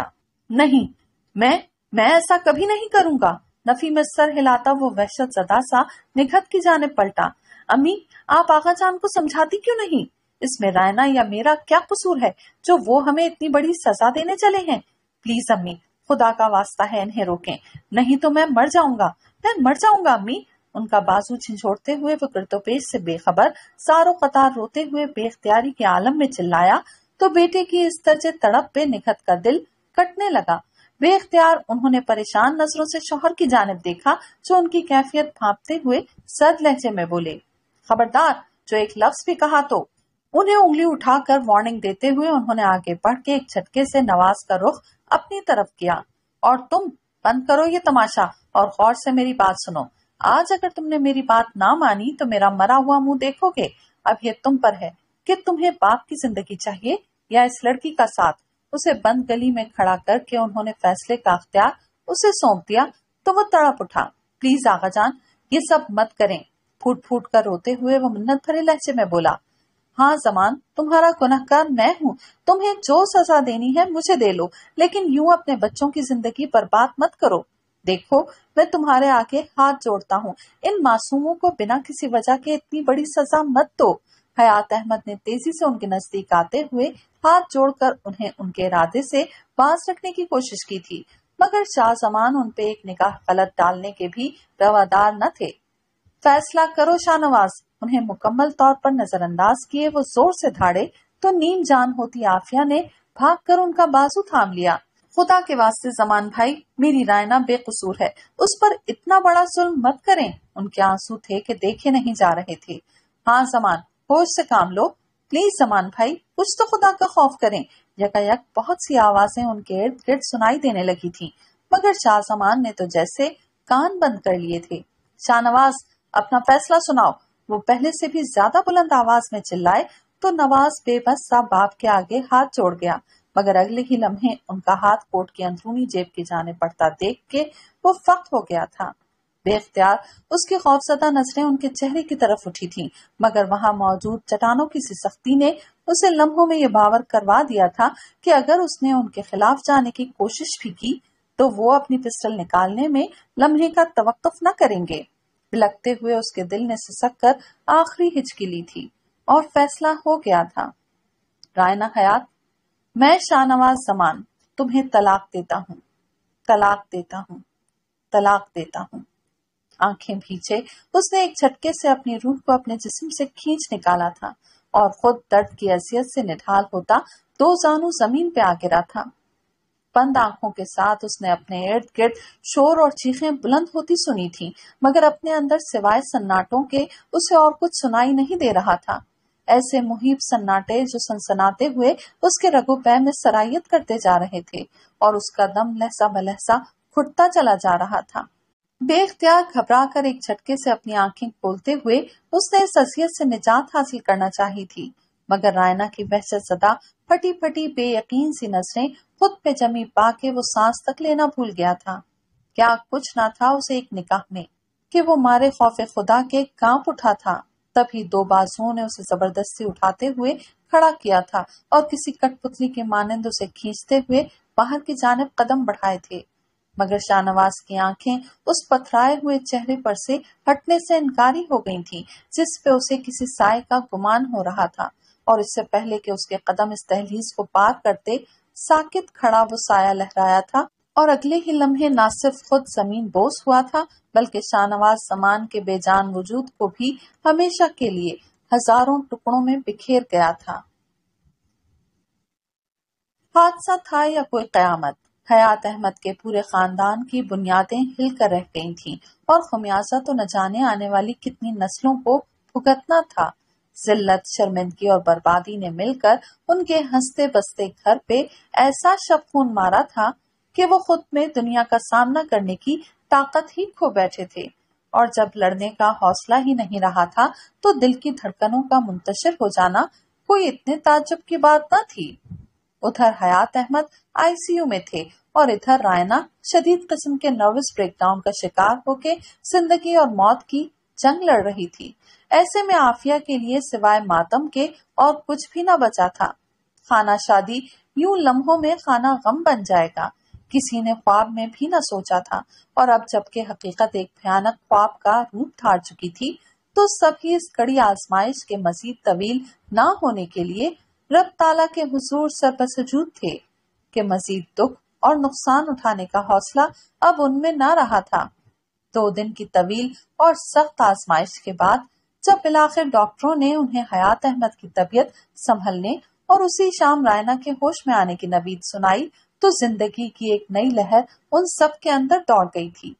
اور اس نئی لہر کو قائم رکھنے کے لیے حیات احمد نے اس شہر سے ہی پوچھ کر جانے کا فیصلہ کیا تھا، جس کی فضائیں تک انہیں خود پر ہستی محسوس ہوتی تھی اور یوں باہمی صلاح مشورے سے وہ راشد کے پاس اسلام آباد شفٹ ہو گئے تھے، جہاں کچھ عرصے ساتھ رہنے کے بعد انہوں نے اپنا الگ گھر لے لیا تھا۔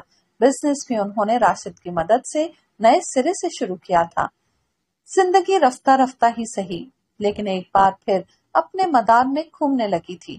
لیکن ایک چیز جو بکھر کر رہ گئی تھی، وہ تھے جذبات و احساسات، جن کے ٹوٹے تار روح میں کچھ ایسے چبھے تھے کہ ہر آتی جاتی سانس کے ساتھ دل اپنے نقصان پہ سسک اٹھتا تھا۔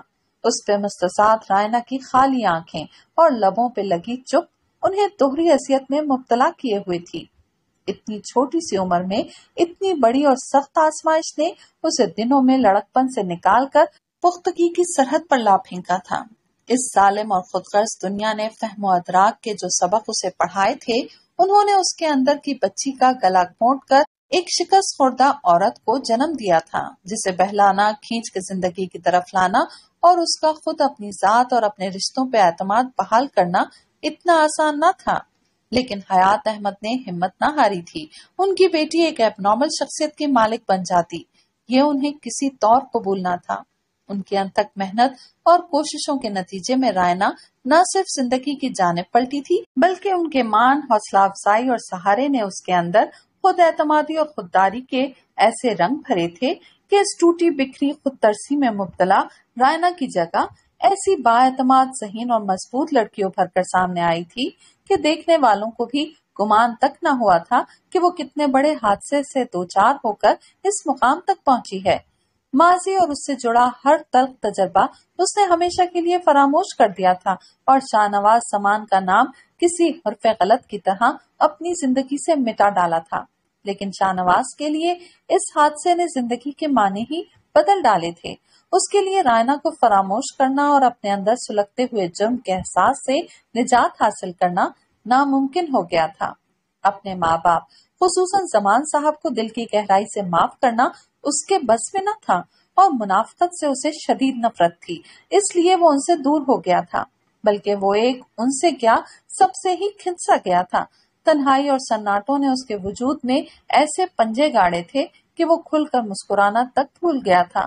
اس کے رویے کا یہ تناؤ لبوں کی یہ خاموشی اور خود کو سزا دینے کا یہ عمل جلد ہی نکھت کو اپنی غلطی کا احساس دلا گیا تھا۔ انہوں نے عافیہ اور حیات احمد کو اپنے تئیں ان کے جھوٹ اور دقابازی کی سزا دینا چاہی تھی، لیکن ایسا کرتے ہوئے وہ سب یہ بھول گئے تھے کہ سزا اور جزا کا اختیار صرف اس پاک ذات کے ہاتھ میں ہے۔ جو خود پہ کسی کا رائی برابر حق نہیں رکھتا۔ اور پھر اس نے یہی کیا تھا۔ انہوں نے زمین کے کیے کی سزا تائنا کو دی تھی۔ تو اللہ نے بھی ان کے دل کو اولاد کے دکھ سے آشنا کرا دیا تھا۔ ان کا بیٹا ان کا ہوتے ہوئے بھی ان کا نہ رہا تھا۔ وہ ان سب سے دور چلا جانا چاہتا تھا۔ وہ ان سے کوئی قلبی تعلق، کوئی لگاؤ محسوس نہ کرتا تھا۔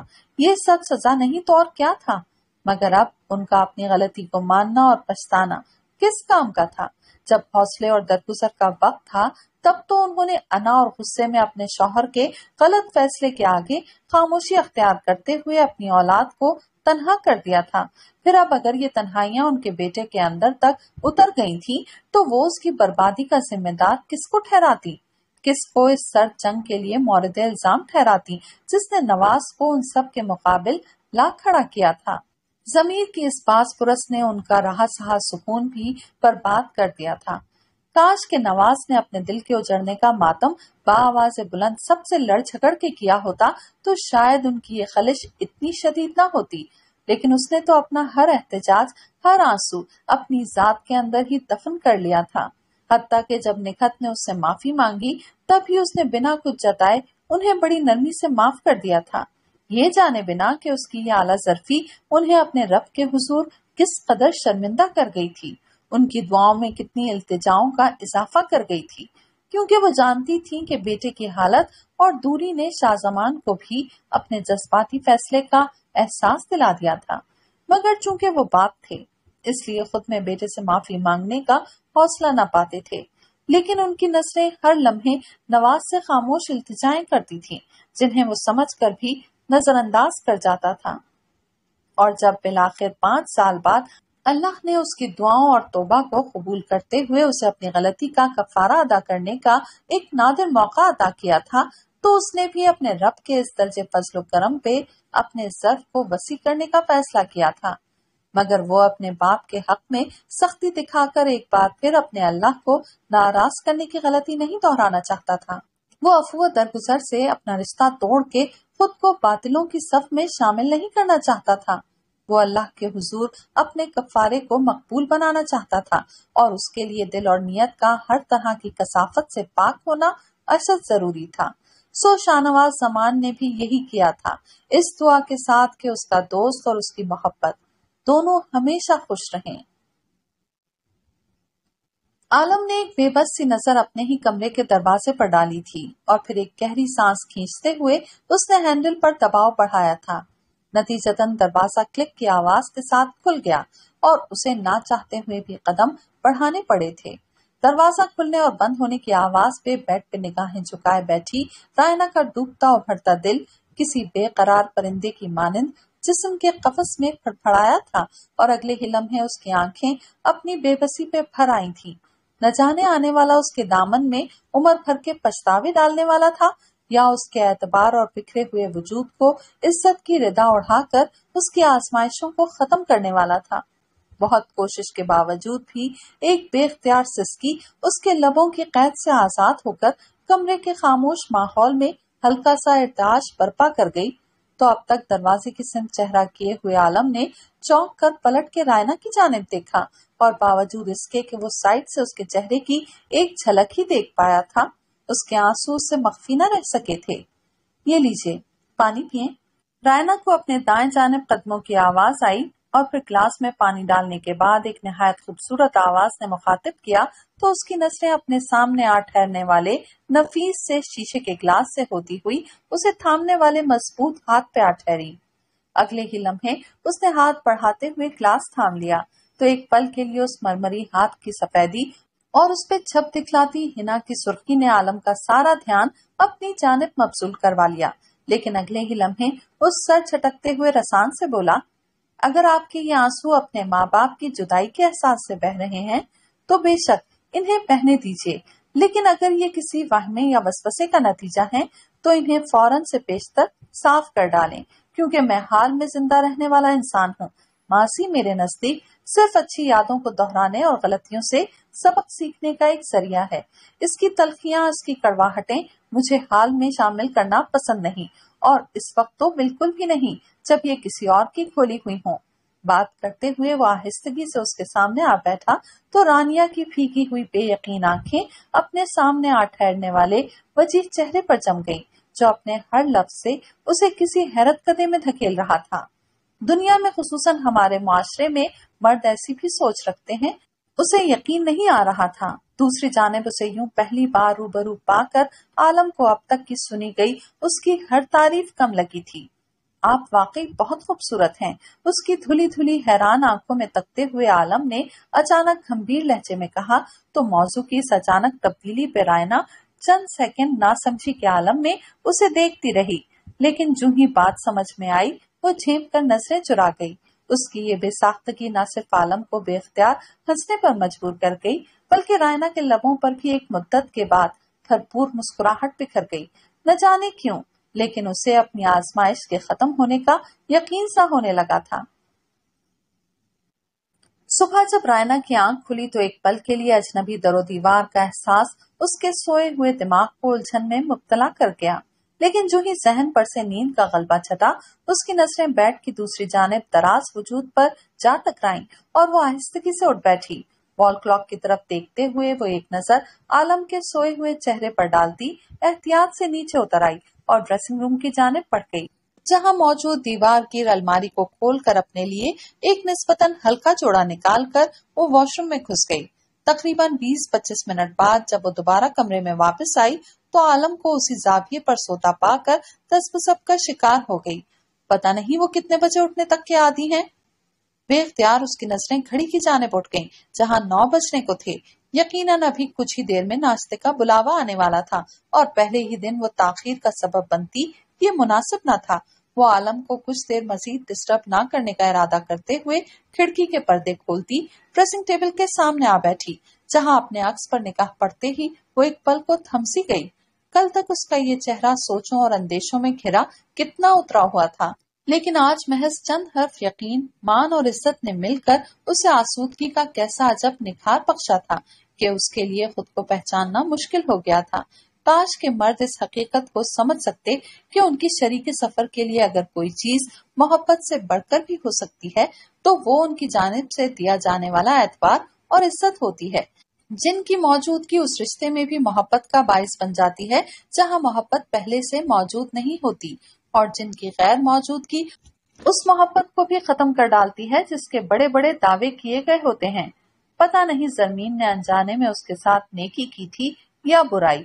لیکن اب جبکہ زندگی میں ایک مخلص ساتھی کا ساتھ میں اثر آیا تھا، تو اسے احساس ہوا تھا کہ اس کے اندر زندہ رہنے کی چاہ بھی تھی اور رنگوں سے بھری خوشگوار زندگی گزارنے کی تمنا بھی، جس پہ تل خالات نے برف کی طے ضرور جمع ڈالی تھی، لیکن انہیں منجمد کر کے فنا نہ کر سکے تھے اور اپنے اندر سانس لیتے اس نئے احساس نے اسے عجیب سی خوشی سے دو چار کر دیا تھا، جس کے رنگ اس کے چہرے پر واضح طور پر دیکھے جا سکتے تھے۔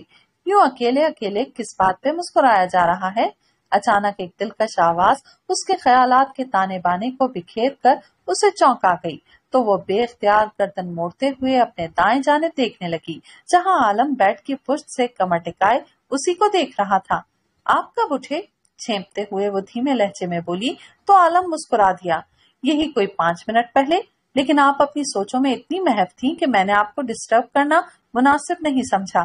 جیسے آپ نے بتایا نہیں کیا آپ کس بات پہ مسکرا رہی تھی اس کے چہرے پر نکاہیں جمائے وہ شرارت سے بولا، تو رائنا کا سبھی چہرہ گلابی پڑ گیا۔ کچھ خاص نہیں، مسکراہٹ دبائے وہ رخ موڑ گئی، تو عالم کمبل ہٹاتا بیڈ سے نیچے اتر آیا۔ اچھا میں سمجھا کہ آپ میرے بارے میں سوچ رہی تھی چہرے اور لہجے میں سنجیدگی پیدا کرتا، وہ اس کے پیچھے آ کھڑا ہوا، تو آئینے میں اس کے بدلتے تاثرات کو دیکھتی، رائنا گھبرا سی گئی۔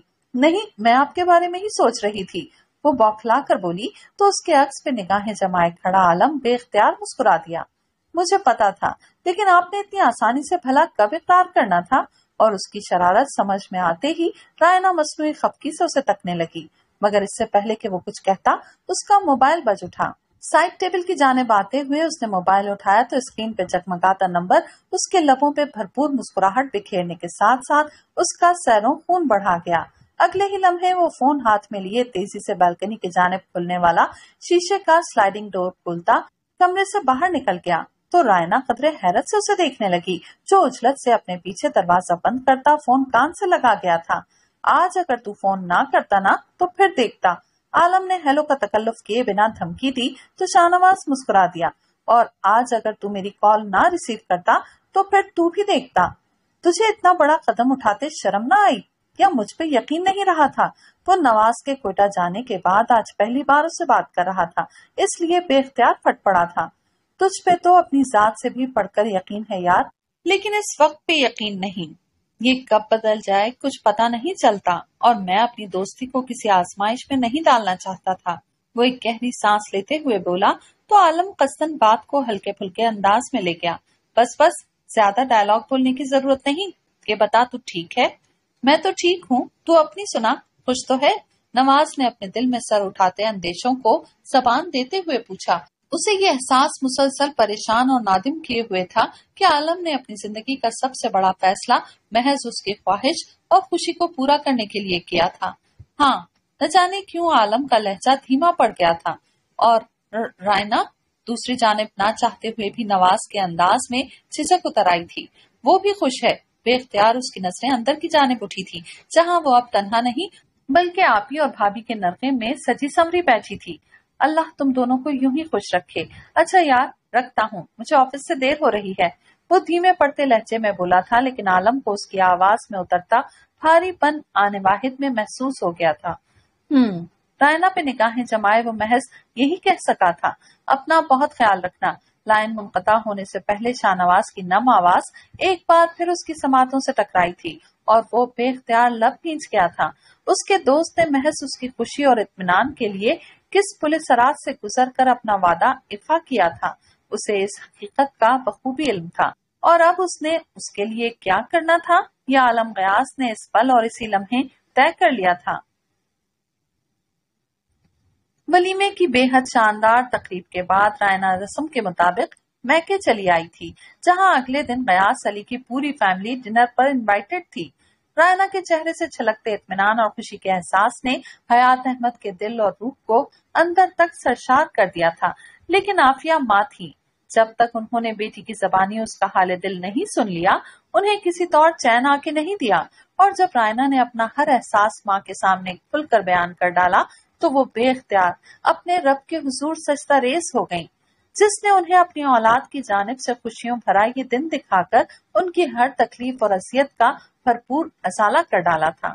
ان کے نزدیک رائنا کی خوشی بہت اہم اور یہ احساس بہت تکلیف دہ تھا کہ زندگی کا یہ نیا سفر ان کی بچی نے محض اپنے ماں باپ کو مزید تکلیفوں اور پریشانیوں سے بچانے کے لیے شروع کیا تھا۔ لیکن اب یہ جان کر کہ وہ اپنے اس فیصلے پر دل سے خوش اور مطمئن تھی۔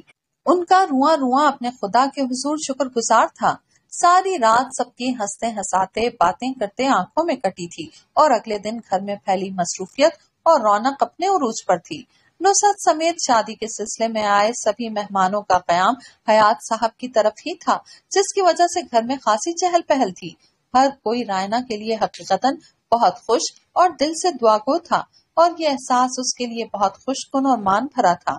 اسے وہ دن یاد آ گیا تھا جب ہر زبان پہ زمین کے لیے بدواؤں اور نفرت کا اظہار تھا۔ بے شک بیٹیاں ماں باپ کا فخر اور مان ہوتی ہیں اور یہ اسی فخر اور مان سے سب کی دعاؤں تلے رخصت ہوتے ہی اچھی لگتی ہیں۔ بشرط کوئی سمجھے تو۔ دوپہر کے کھانے سے فراغت کے بعد سب وسیع عریض لاؤنج میں بیٹھے گرین ٹی سے لطف اندوز ہوتے ہوئے خوش کپیوں میں مصروف تھے۔ جب مجید کی مائیت میں اندر آنے والی ہستی نے نہ صرف سب کو ایک لہسے کے لیے ساکت کر ڈالا تھا، بلکہ وہ خود بھی پورے خاندان کو یوں اپنے سامنے پا کر زرد ہو گئی تھی۔ لیکن اب چونکہ واپس پلٹنا ممکن نہ تھا، اس لیے ٹھنڈے پڑتے جسم کے ساتھ وہ آنے والے کڑے وقت کے لیے خود کو تیار کرنے لگی تھی۔ لیکن شاید یہی انصاف خدا بندی ہے، جس کا سامنا ہر سالم کو کرنا پڑتا ہے، ورنہ اتنے سارے دنوں میں سے اسے یہاں آنے کے لیے یہی دن ملا تھا۔ لازم ہے کہ ہم بھی دیکھیں گے۔ ہم دیکھیں گے۔ وہ دن کے جس کا وعدہ ہے، ہم دیکھیں گے۔ تم، تمہاری جرت کیسے ہوئی یہاں قدم رکھنے کی؟ سخت چہرہ لیے حیات احمد ایک جھٹکے سے اٹھتے ہوئے تھاڑے تھے۔ مجید، ایک منٹ میں اس لڑکی کو یہاں سے باہر نکالو۔ فوراً انہوں نے قہر پر نظروں سے مجید کو دیکھتے ہوئے حکم دیا تو وہ گھبرا کر اس کی جانب پڑھا تھا، مگر وہ تیزی سے اسے ہٹاتی آگے بڑھائی تھی۔ پلیز پاپا، ایک بار میری بات سن لیں، پھر چاہے مجھے نکال دیں۔ اس نے برستی آنکھوں سے اپنے پاپا کی جانب دیکھا تھا، جنہیں پانچ سال بعد یوں رو برو پا کر نظریں ان کے چہرے سے ہٹنے سے انکاری ہو گئی تھی جبکہ آفیہ اس دوران اپنی حیرت پہ قابو پاتی بفر کے اس کے سامنے آ کھڑی ہوئی تھی کیا چاہتی ہو؟ میں پوچھتی ہوں، کیا چاہتی ہو تم؟ وہ حلق کے بل چلائی تھی کیوں تم کسی خون آشام بلا کی طرح ہر بار ہماری خوشیاں نکلنے آ جاتی ہو؟ کیوں تمہاری حوث تمہاری نیت نہیں بھرتی انہوں نے بھرائے ہوئے لہجے میں اس کے ہاتھ میں پکڑی فائل کی جانب اشارہ کرتے ہوئے استفسار کیا تھا۔ یہ یہ میں نے نہیں مانگا امی، میں آپ کو یہی تو بتانے آئی ہوں۔ روتے ہوئے اس نے فائل ان کے سامنے کر دی تھی۔ یاور نے کب اور کیسے آپ سے رابطہ کیا؟ کیا کہہ کر آپ سے یہ مطالبہ کیا؟ مجھے کچھ پتا نہیں، امی۔ تمہیں کچھ پتا تھا یا نہیں؟ ہمیں اس سے کوئی سروکار نہیں۔ تم بس یہاں سے چلی جاؤ۔ ہاتھ اٹھائے وہ قطعیت سے بولی تو زرمین پھپک کر رو پڑی۔ امی، پلیز مجھے معاف کر دیں۔ آپ سب کو دکھ دینے کی سزا میں روز جھیلتی ہوں۔ میں روز جیتی اور روز مرتی ہوں۔ خدا کے لیے امی، مجھے معاف کر دیں۔ دونوں ہاتھ جوڑتے ہوئے اسے تڑپ کر صدا کی تھی۔ فائل چھوٹ کر آفیہ کے قدموں میں آ گری تھی۔ جبکہ حاضری نے محفل انصاف پاری تالا کے جیسے قائل ہو گئے تھے۔ بے اختیار ہی کتنی آنکھیں بھر آئی تھیں، جبکہ رائنا اپنی سسکیوں کا گلا گھونٹنے کو لبوں پہ ہاتھ رکھ گئی تھی۔ جانتی ہے سرمین، آج اگر تو مجھے اپنی خوشیوں کی اطلاع دیتی تو مجھے بہت حیرت ہوتی، کیونکہ میری ہر ہر سانس کے ساتھ تیرے لیے بدوا نکلی ہے۔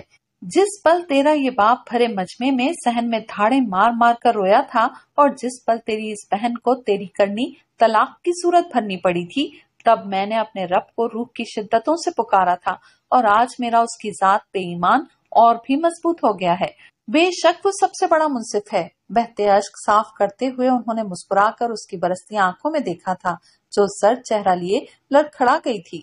تو جو پا رہی ہے اور جو پائے گی، یہ اس راستے کی منزل ہے جو تیرا اپنا منتخب کرتا تھا۔ اور یہ وہ ہے جو ہمارا فرض تھا۔ انہوں نے جھک کر فائل اٹھاتے ہوئے اس کے ہاتھ میں تھمائی تھی۔ اب تیرا ہم پہ کوئی حق باقی نہیں رہا۔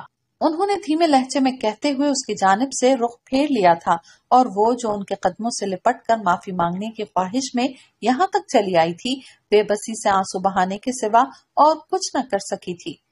بے اختیار اس کی برستی نظروں نے اپنے ارد گرد موجود لوگوں میں اپنی ماجائی کو تلاشنا چاہا تھا۔ مگر امٹتے آنسو اور نفرت برساتی نگاہوں نے اس سے مزید یہاں رکنے کا حوصلہ چھین لیا تھا۔ یہ ہجوم، یہ چہرے نئے نہ تھے، مگر آج جہاں وہ کھڑی تھی، کل وہ یہاں اپنے ماں باپ کو کھڑا کر گئی تھی۔ بے شک خدا بہت بڑا منصف ہے سسکیاں سمیٹتے اس کے کانوں میں فقط ایک ہی فکرے کی گونج تھی۔ ارے یار نواز، کچھ پتا چلا؟ وہ سب گھر والوں کے ساتھ ڈائننگ ٹیبل پہ بیٹھا، رات کا کھانا کھا رہا تھا، جب شہباز کے کہنے پہ وہ بے اختیار اس کی جانب دیکھنے لگا۔ باقی سب بھی شہباز کی طرف متوجہ ہو گئے تھے۔ کس بارے میں؟ عالم کی شادی ہو گئی ہے یار۔ شہباز نے اسے دیکھتے ہوئے جواب دیا، تو ایک پل کے لیے وہ خاموش ہو گیا، جبکہ باقی سب حیرت زدہ سے رہ گئے۔ کیا؟ لیکن اس نے تو نواز کو بتایا تک نہیں، نگہت بیگم کے چہرے پر خفکی کے آثار در آئے تھے، جبکہ رتابہ کا دل نہ جانے کیوں گمسم سا ہو گیا تھا۔ بہت سے خاموش لیکن بامانی پل اس کے ذہن کی اسکرین پہ نمودار ہوئے تھے۔ جب کسی کی نظروں کے ارتکاز نے اسے بار ہاتھ چونکنے اور مقابل کی جانب متوجہ ہونے پر مجبور کر دیا تھا۔ تو کیا وہ محض دل لگی تھی؟ مگر وہ یہ سوال کس سے اور کس بلبوتے پر کرتی کہ ان لمحوں میں زبان سے کیا اقرار تو کہیں بھی نہ تھا، لیکن پھر اس دنیا میں زبان تو دور خدا اور اس کے رسول کو گواہ بنا کر کیے گئے اقرار سے بھی پھرنا مشکل نہیں، اگر انسان کی نیت بدل جائے تو۔ سو اگر عالم گیاس انجان بن گیا تھا، تو یہ کوئی اتنے تعجب کی بات تو نہ تھی۔ مجھے معلوم تھا نواز پرسکون انداز میں گویا ہوا تو سب کی حیرت دو چند ہو گئی۔ تمہیں معلوم تھا؟ تو پھر تم گئے کیوں نہیں؟ شہباز نے اچمبے سے اس کا چہرہ تکتے ہوئے پوچھا کیونکہ اس کی شادی رائنا حیات سے ہوئی ہے؟ اپنے سابقہ پرسکون انداز میں جواب دیتے وہ پانی کا گلاس لبوں سے لگا گیا تھا، جبکہ تمام حاضرین محفل کی سماعتوں پہ گویا بم آ گرا تھا۔ امی، میں کھانا کھا چکا ہوں۔ آپ پلیز ایک کپ کافی میرے کمرے میں بھجوا دیجیے گا۔ سب کے تاثرات کو نظر انداز کر کے وہ اطمینان سے کرسی کھسکاتا اٹھ کر ڈائننگ روم سے باہر نکل گیا۔ تو وہ ایک دوسرے کو دیکھ کر رہ گئے۔ تو یہ تھی اس کی اچانک واپسی کی وجہ، اور میں سمجھی تھی کہ آنسو کی الغار نے نکھت کو بات مکمل نہ کرنے دی تھی اور وہ بے اختیار رو پڑی تھی، جبکہ شاہ زمان لب بھینچ کر رہ گئے تھے۔ امی پلیز حوصلہ کریں، بلکہ آپ کو تو اللہ کا شکر ادا کرنا چاہیے کہ اس نے آپ کا بیٹا آپ کو لوٹا دیا ہے۔ ورنہ وہ ہم سب سے کتنا دور چلا گیا تھا، آپ اچھی طرح جانتی ہیں۔ سیما نے برابر بیٹھی ساس کے شانوں پہ بازو پھیلاتے ہوئے انہیں حوصلہ دیا۔ وہ تو ٹھیک ہے بیٹا، لیکن میرا بچہ خود کس اذیت سے گزرا ہوگا؟ یہ سوچ کر میرا دل ٹکڑے ٹکڑے ہو رہا ہے۔ نہ جانے اللہ کو کیا منظور ہے۔ جو میرے بچے کی آزمائشیں ختم ہونے میں نہیں آ رہی۔ وہ آنسو کے درمیان بولی، تو اب تک خود پہ ضبط کیے بیٹھے شاہ زمان ایک چھٹکے سے کرسی دھکیلتے اٹھ کر کمرے سے نکلتے چلے گئے۔ یہ سب ان کی ضد کا نتیجہ ہے، میرے بچے کی خوشیاں۔ پلیز امی، اگر بھائی نے پچھلی باتوں کو بھلا کر آگے بڑھنے کا فیصلہ کر لیا ہے تو خدا کے لیے آپ اس پرانی بحث کو چھیڑ کر پھر سے ان کے زخموں کو مت پورے دیں۔ رتابا نے جھنجلا کر انہیں ٹوکا تو وہ بے اختیار خاموش ہو گئیں۔ بھابھی ٹھیک کہہ رہی ہیں امی، بلکہ میرے خیال میں ہمیں اب نواز کی شادی میں مزید دیر نہیں کرنی چاہیے۔ کیا خیال ہے آپ کا؟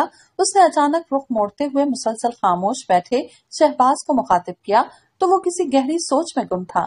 بے دھیانی سے اس بات میں سر ہلاتا اٹھ کھڑا ہوا۔ میں نواز کے کمرے میں جا رہا ہوں۔ تم دو کپ کافی تیار کروا کے بھجوا دو۔ وہ سیما سے کہتا، باہر کی جانب پڑ گیا تو نکھت کچھ کہنے کی خواہش میں محض اس کی پشت کو دیکھ کر رہ گئی دستک کی آواز پہ نواز نے بنا دیکھے آنے والے کو اندر آنے کی اجازت دی تو شہباز دھیرے دھیرے قدم اٹھاتا، اس کی پشت پہ آ کھڑا ہوا۔ جو کھڑکی میں کھڑا نہ جانے باہر اندھیرے میں کیا تلاش کر رہا تھا۔ اپنے پیچھے مسلسل خاموشی محسوس کرتے ہوئے نواز نے بے اختیار پلٹ کر دیکھا تو شہباز کو سینے پہ ہاتھ باندھے اپنی جانب تکتا پا کر وہ ایک گہری سانس لیتا، اس کی طرف رخ موڑ گیا۔ کہاں سے لائے ہو اتنا حوصلہ؟ شہباز نے بغور اس کا چہرہ تکتے ہوئے سوال کیا۔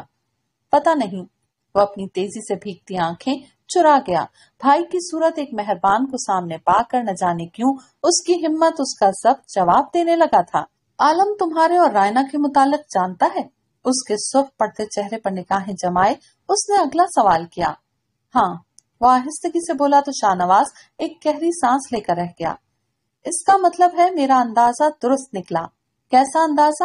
اس نے آنکھوں میں موجود نمی حلق میں اتارتے ہوئے خود کو انجان ظاہر کرنے کی کوشش کی۔ یہی کہ عالم اور رائنا کی شادی ہوئی نہیں، بلکہ تم نے کروائی ہے۔ یا پھر یوں کہو کہ روح پہ تہرے پوج میں کمی کے لیے تم نے ایک سبیل نکالی ہے۔ اس نے نواز کو اس کی کہی بات لوٹائی تو اس کی آنکھیں بھر آئیں۔ بھائی، وہ خود پہ ہر اختیار کھو بیٹھا تو بے اختیاری کے عالم میں شہباز کے سینے سے آ لگا۔ حوصلہ میرے یار تم تو بہت بہادر ہو۔ اسے تسلی دیتے شہباز کی اپنی آنکھیں بھر آئی تھی وہ رائنا کے لیے اپنے بھائی کی شدتوں سے بخوبی واقف تھا۔ لیکن وہ اپنے عشق میں اتنا کھرا اترے گا، اس بات کا اسے اندازہ نہ تھا۔ اللہ تمہاری کوشش کو قبول فرمائے اور تمہیں اتنا پرخلوص شریک سفر دے کہ تمہاری زندگی سچی خوشی اور حقیقی اطمینان سے مالا مال ہو جائے۔ اسے خود سے لپٹائے شہباز نے بے اختیار اسے دعا دی تو شاہ نواز کا سسکتا دل قدرے تھم سا گیا۔ چوتھی کی رسم سے فراغت کے بعد رائنا کو ایک بار پھر اسلام آباد والے گھر کے بجائے حویلی لایا گیا تھا، جہاں گاؤں میں ایاس علی اور شائستہ بیگم کا پورا خاندان ان کا منتظر تھا۔ خدا خدا کر کے دعوتوں اور مبارکباد کا سلسلہ کچھ کم ہوا تو غیاس علی نے دونوں کو گھومنے پھرنے کے لیے یورپ بھیجنے کا پروگرام بنایا۔ مگر عالم چونکہ اپنے نئے بزنس پر توجہ دینا چاہتا تھا، اس لیے اس نے رائنا سے معذرت کرتے ہوئے قیاس علی سے فی الوقت اس پروگرام کو کینسل کرنے کی درخواست کی تھی، جو انہوں نے خاصی پسو پیش کے بعد قبول کر لی تھی۔ اس معاملے کے نپٹنے کے اگلے دن عالم اپنے بزنس کے سلسلے میں لاہور چلا گیا تھا، جہاں سے اس کی واپسی آج تین دن کے بعد ہوئی تھی۔ اس دوران رائنا خاصی اداس ہو گئی تھی۔ اس لیے جب دونوں کو تنہائی میسر آئی، تو وہ اسے اپنی خفکی کا خاموش اظہار کیے بنا نہ رہ سکی تھی۔ کیا بات ہے؟ تم اتنی چپ چپ سی کیوں ہو؟ کمرے میں آنے کے بعد وہ قصدن اس کا سوٹ کیس کھول کر سامان ان پیک کرتے ہوئے خود کو مصروف ظاہر کرنے لگی۔ تو وہ جو کسی کو میسج لکھ رہا تھا، موبائل ایک طرف رکھتے ہوئے دھیرے دھیرے چلتا اس کے پاس آ کھڑا ہوا۔ ایسی تو کوئی بات نہیں۔ وہ اپنا کام کرتے ہوئے آہستگی سے بولی، تو عالم اس کے جھکے سر کو دیکھتے ہوئے مسکرا دیا۔ وہ اس کی خفکی کی وجہ سے بخوبی واقف تھا، لیکن فی الحال اس کے منہ سے سننے کا خواہاں تھا۔ تو پھر میرے پاس آ کے بیٹھو نا۔ وہ اس کا ہاتھ تھامتے ہوئے محبت سے بولا، تو رائنا آہستگی سے اپنا ہاتھ چھڑاتے ہوئے بولی، میں پیکنگ کھول رہی ہوں۔ یہ تمہارے نہیں ملازموں کے کرنے کے کام ہے اس کے ہاتھ سے شرٹ لے کر واپس سوٹ کیس میں اچھالتے ہوئے اس نے رائنا کو دونوں شانوں سے تھام کر اپنی جانب موڑا۔ تو پھر میرا کیا کام ہے؟ سینے پہ بازو باندھے اس نے ناراضی سے عالم کی طرف دیکھا۔ تمہارا کام ہے میرا خیال رکھنا، مجھ سے محبت کرنا، اور جب میں تم سے دور جاؤں تو مجھ سے ناراض ہونا۔ شریر نظروں سے اس کی جانب دیکھتے ہوئے وہ آخر میں مسکرایا۔ تو چند لمحے خفکی سے اس کی طرف دیکھنے کے بعد رائنا دھیرے سے مسکرا دی۔ جب سب پتا ہے تو انجان بننے کی ایکٹنگ کیوں کر رہے تھے؟ اس نے اپروچ کاتے ہوئے پوچھا، یوں ہی تمہیں تنگ کرنے کو دل چاہ رہا تھا؟ اس نے محبت سے اسے اپنے نزدیک کرتے ہوئے کہا، تین دن ستا کر ابھی آپ کا دل نہیں بھرا جو مزید تنگ کرنے کی خواہش ہو رہی تھی۔ اس نے مصنوعی خفکی سے اسے کورا خواہش ہو رہی تھی نہیں میڈم، ہو رہی ہے۔ عالم نے اس کے چہرے پر جھولتی لٹ کھینچتے ہوئے معنی خیزی سے کہا، تو رائنا کا گلابی چہرہ مزید گلابی ہو گیا، جسے دارفتگی سے تکتے ہوئے وہ ابھی کچھ کہنے ہی والا تھا جب موبائل کی بیپ نے کمرے میں پھیلا فسوں بکھیر دیا۔ سائڈ ٹیبل کی جانب بڑھتے ہوئے عالم نے فون اٹھایا تو اسکرین پہ جگمگاتا نمبر بے اختیار اس کے لبوں پہ مسکراہٹ بکھیر گیا۔ دل ہی دل میں اس پرفیکٹ ٹائمنگ کو سراہتا، وہ اجلت میں موبائل ہاتھ میں لیے بالکنی کا گلاس ڈور سلائڈ کرتا باہر نکل گیا۔ اپنے پیچھے دروازہ بند کرتے اور فون کان سے لگاتے، وہ بنا رائنا کی جانب دیکھے بھی خود پہ گڑی اس کی نظریں بآسانی محسوس کر رہا تھا۔ ہیلو اس نے کال ریسیو کرتے ہوئے کہا تو دوسری جانب موجود نواز پریشانی سے بولا عالم، خیر تو ہے، تو نے کیوں مجھے میسج کر کے ارجنٹلی فون کرنے کے لیے کہا تھا؟ یوں ہی دل کر رہا تھا یار من، تجھ سے بات کرنے کے لیے۔ وہ مسکرا کر بولا، تو نواز پھر نہ اٹھا۔ کمینے یہ بھی کوئی طریقہ ہے؟ تجھے احساس ہے کہ میں کس قدر پریشان ہو گیا تھا؟ خبیص، اور اس کی گالیاں عالم کو کہا لگانے پر مجبور کر گئی تھی جبکہ گلاس ڈور کے اس طرف کھڑی رائنا کی آنکھوں میں موجود الجھن دو چند ہو گئی تھی۔ لائن بھابھی، میں آپ کی کچھ ہیلپ کروا دوں؟ رائنا کچن میں داخل ہوتے ہوئے رابعہ سے بولی، جو ریڈنگ کرتی مریم کو گود میں اٹھائے، خان کے ساتھ زینت اور سکھا کو بھی ہدایات دینے میں مصروف تھی۔ آج فیروز کے کچھ غیر ملکی دوستوں کی دعوت تھی۔ اس لیے صبح سے ہی گھر میں خاصی مصروفیت تھی۔ فیروز کی ہدایت تھی کہ ہر چیز پرفیکٹ اور ڈشز میں خاصی ورائٹی ہونی چاہیے۔ اس لیے رابعہ کو خود ہر کام کی نگرانی کرنا پڑ رہی تھی۔ وغیرہ تو گھر کے ملازمین خاصے ٹرینڈ تھے۔ اگر میری کچھ ہیلپ کروانا چاہتی ہو تو اس کو تھوڑی دیر کے لیے سنبھال لو۔ میرے تو کندھے رہ گئے ہیں۔ اس نے بےچارگی سے کہا تو رائنا نے آگے بڑھ کے مریم کو اس سے لے لیا، جو آج بخار کے باعث خاصی چڑچڑی ہو رہی تھی۔ ماں کی گود سے اترتے ہی اس نے خاصا شور مچایا تھا، مگر رائنا نے اسے کچھ اس طریقے سے سنبھالا کہ وہ تھوڑی ہی دیر میں نہ صرف چپ کر گئی، بلکہ رائنا کے ہاتھ سے تھوڑا تھوڑا کر کے بسکٹ بھی کھانے لگی۔ واہ بھائی، تمہیں تو لگتا ہے اس کام کی خاصی پریکٹس ہے۔ کچھ دیر بعد رابعہ اس کے برابر رکھی کرسی پر بیٹھتے ہوئے بولی، وہ دونوں وہیں کچن میں ایک جانب رکھی چھوٹی ٹیبل پر بیٹھی ہوئی تھی پریکٹس تو نہیں، البتہ بچوں سے پیار بہت ہے۔ وہ مسکرا کر بولی، تو رابعہ کی مسکراہٹ گہری ہو گئی۔ یہ تو بہت ہی اچھی بات ہے، تمہارے شوہر نامدار خیر سے بچوں کے دیوانے ہیں۔ اس لیے خوب گزرے گی، جو مل بیٹھیں گے دیوانے دو۔ وہ بے اختیار ہنسی تو رائنا بھی دھیمے سے ہنس پڑی۔ ویسے بھابھی، آپ کی فیملی اور یہ فیملی آپس میں ریلیٹیوز ہیں نا؟ اس نے مریم کا منہ ٹشو سے صاف کرتے ہوئے پوچھا۔ ہاں فیروز میرے سیکنڈ کزن ہیں۔ ایکچولی ہم میں شادیاں خاندان میں ہی کی جاتی ہیں۔ اس لیے سب ہی انٹر ریلیٹڈ ہیں۔ وہ اپنے دھیان میں بولی، تو رائنا چونک سی گئی۔ اچھا تو پھر عالم کی شادی کیسے باہر ہو گئی؟ اس نے قدرے حیرت سے پوچھا، تو رابعہ اپنی بے دھیانی پہ خود کو کوس کے رہ گئی۔ وہ ایسے کہ تم آنٹی کو بے طرح بھاگ گئی تھی وہ خود کو سنبھالتے ہوئے بولی، تو رائنا ہلکا سا مسکرا دی۔ ہاں یہ تو میں نے بھی سنا ہے، لیکن پتا نہیں کیوں مجھے یاد نہیں آتا کہ آنٹی نے مجھے یونیورسٹی کے کس فنکشن میں دیکھا تھا۔ وہ ذہن پر زور دیتے ہوئے بولی، انہیں یونیورسٹی جوائن کیے کچھ عرصہ ہی تو ہوا تھا، اور اس دوران گنتی کے چند ایک فنکشن ہوئے تھے۔ ارے بھائی، کسی بھی فنکشن میں دیکھا ہو، تمہیں اس سے کیا؟ اصل بات تو یہ ہے کہ اللہ نے تمہارا جوڑ عالم کے ساتھ بنایا تھا، سو تمہیں یہی آنا تھا۔ پھر چاہے تم دونوں کہیں بھی ہوتے، وہ بات کو ٹالتی قسطن اٹھ کھڑی ہوئی تو رائنا اس بات میں سر ہلا کر خاموش ہو گئی۔ واقعی، ان دونوں کا جوڑ تھا تو انہیں ملنا ہی تھا۔ پھر چاہے بیچ میں شاہ نواز زمان آتا یا کوئی اور، بے اختیار اس کی نگاہوں میں فون پہ بات کرتا کہ لگاتا عالم گھوم گیا، جو ویسے تو ہر کال رائنا کے سامنے اٹینڈ کرتا تھا، لیکن نہ جانے اس خاص کال پر کیوں اٹھ کر کمرے سے باہر نکل جاتا تھا۔ ایک بات تو کلیئر تھی کہ وہ عالم قیاس کی نہیں، بلکہ بیگم قیاس کی پسند تھی۔ تو پھر کہیں بیچ میں رائنا حیات کی ذات تو نہیں آئی تھی؟ آنے والے دنوں میں عالم رائنا کو لیے اسلام آباد چلایا تھا، جہاں ایک پورا گھر اور اس کی ذمہ داریاں اس کی منتظر تھی، لیکن ملازمین کی موجودگی کے باعث اسے اس نئی روٹین میں ایڈجسٹ ہونے میں زیادہ دقت نہیں ہوئی تھی۔ ہاں مگر یہاں آ کر وہ تنہائی محسوس کرنے لگی تھی۔ گزشتہ ایک ماہ گاؤں میں سب کے ساتھ گزارنے کے بعد اسے اب یہاں تنہا رہنا خاصا دشوار لگ رہا تھا۔ اس پہ مستضاد عالم کے نئے بزنس کی مصروفیات وہ قصدن اسے اپنے لیے زیادہ وقت ڈیمانڈ نہیں کرتی تھی کہ اسے ڈسٹرب کرنا رائنا کو اچھا نہیں لگتا تھا، مگر عالم اس کے مسئلے کو بنا اس کے کچھ کہے بھی سمجھ رہا تھا۔ اسی لیے اس نے رائنا کو اپنی پڑھائی مکمل کرنے کا مشورہ دیا تھا، مگر یوں نوکروں پہ گھر چھوڑ کے روز نکل جانے کا خیال اسے کچھ مناسب نہیں لگا تھا۔ سو اس موضوع کو فی الوقت پس پشت ڈالتے ہوئے وہ یوں ہی ایک دن اپنی دوستوں سے ملنے یونیورسٹی چلی آئی تھی۔ جہاں اسے اچانک سامنے پا کر وہ تینوں بے حد خوش ہوئی تھیں۔ یہ بتاؤ اگر آج ہم تینوں یونیورسٹی نہ آئی ہوتی تو پھر تم اس سرپرائز کے چکر میں کیا کرتی؟ اس کے آنے کی خوشی میں وہ تینوں کلاسز بنک کیے، اس کے ساتھ کینٹین میں بیٹھی، گپ شپ کے ساتھ ساتھ کولڈ ڈرنکس اور برگر انجوائے کر رہی تھی میں واپس چلی جاتی اور کل پھر چکر لگا لیتی۔ وہ مزے سے بولی تو سبین، ہمیں اچکاتے ہوئے بولی، لگتا ہے عالم بھائی خاصے فرما بردار شوہر واقع ہوئے ہیں۔ فرما بردار تو نہیں، لیکن وہ حقیقت بہت اچھے شوہر واقع ہوئے ہیں۔ وہ مسکراتے ہوئے بولی، تو تانیہ حیرت سے بولی ہے یہ تم ہی ہو نا؟ اینٹی محبت اور اینٹی میل ایسوسی کی صدر؟ خاتون، تمہاری طبیعت تو ٹھیک ہے۔ اس نے آنکھیں پٹ پٹاتے ہوئے پوچھا، تو تینوں کی ہنسی چھوٹ گئی۔ بکومت رائنا نے اس کے دھپ رسید کی۔ نہیں، میں سچ کہہ رہی ہوں، کہاں تو تم محبت، شادی اور مردوں کے نام سے الرجک تھی اور کہاں اب عالم بھائی کے گنگاتی پھر رہی ہو؟ یاد ہے اپنی شادی پہ یہ کیسے انیس سو ساٹھ کی غمزدہ ہیروئن بنی بیٹھی تھی؟ وہ سبین اور شفق کی جانب دیکھتے ہوئے ہنسی تو رائنا سنجیدہ ہو گئی۔ ہاں تب مجھے واقعی اندازہ نہ تھا کہ دنیا خاص طور پہ ہمارے معاشرے میں عالم جیسے بازرف اور سلجھے ہوئے مرد بھی موجود ہیں۔ تو اس سے پہلے کس کمزرف سے واسطہ پڑا تھا جو تم محبت اور شادی کے اتنے خلاف ہو گئی تھی؟ بات تو ایسے کر رہی ہیں، محترمہ جیسے نہ جانے کتنے مردوں کو جانتی ہوں۔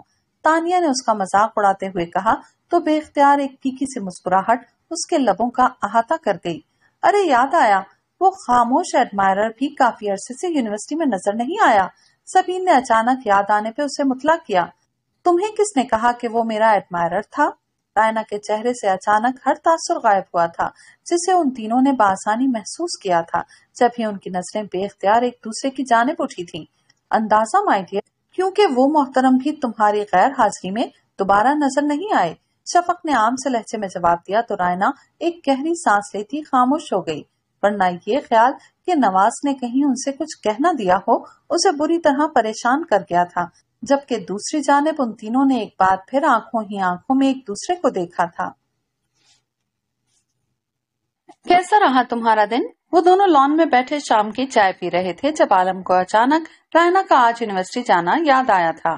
شکر ہے آپ کو یاد تو آیا کہ میں آج کہیں گئی تھی۔ وہ شکایتی انداز میں بولی، تو عالم مسکرا دیا۔ ایک تو یار، تم چھوٹی چھوٹی باتوں کو دل پہ لے لیتی ہو۔ میڈم، مجھے بالکل یاد تھا کہ آج آپ اپنی فرینڈ سے ملنے گئی تھی صاحب جی آپ کا فون ہے۔ ریاض ہاتھ میں کارڈ لیس پکڑے اندر سے آتے ہوئے بولا، تو عالم نے فون اس سے لے لیا۔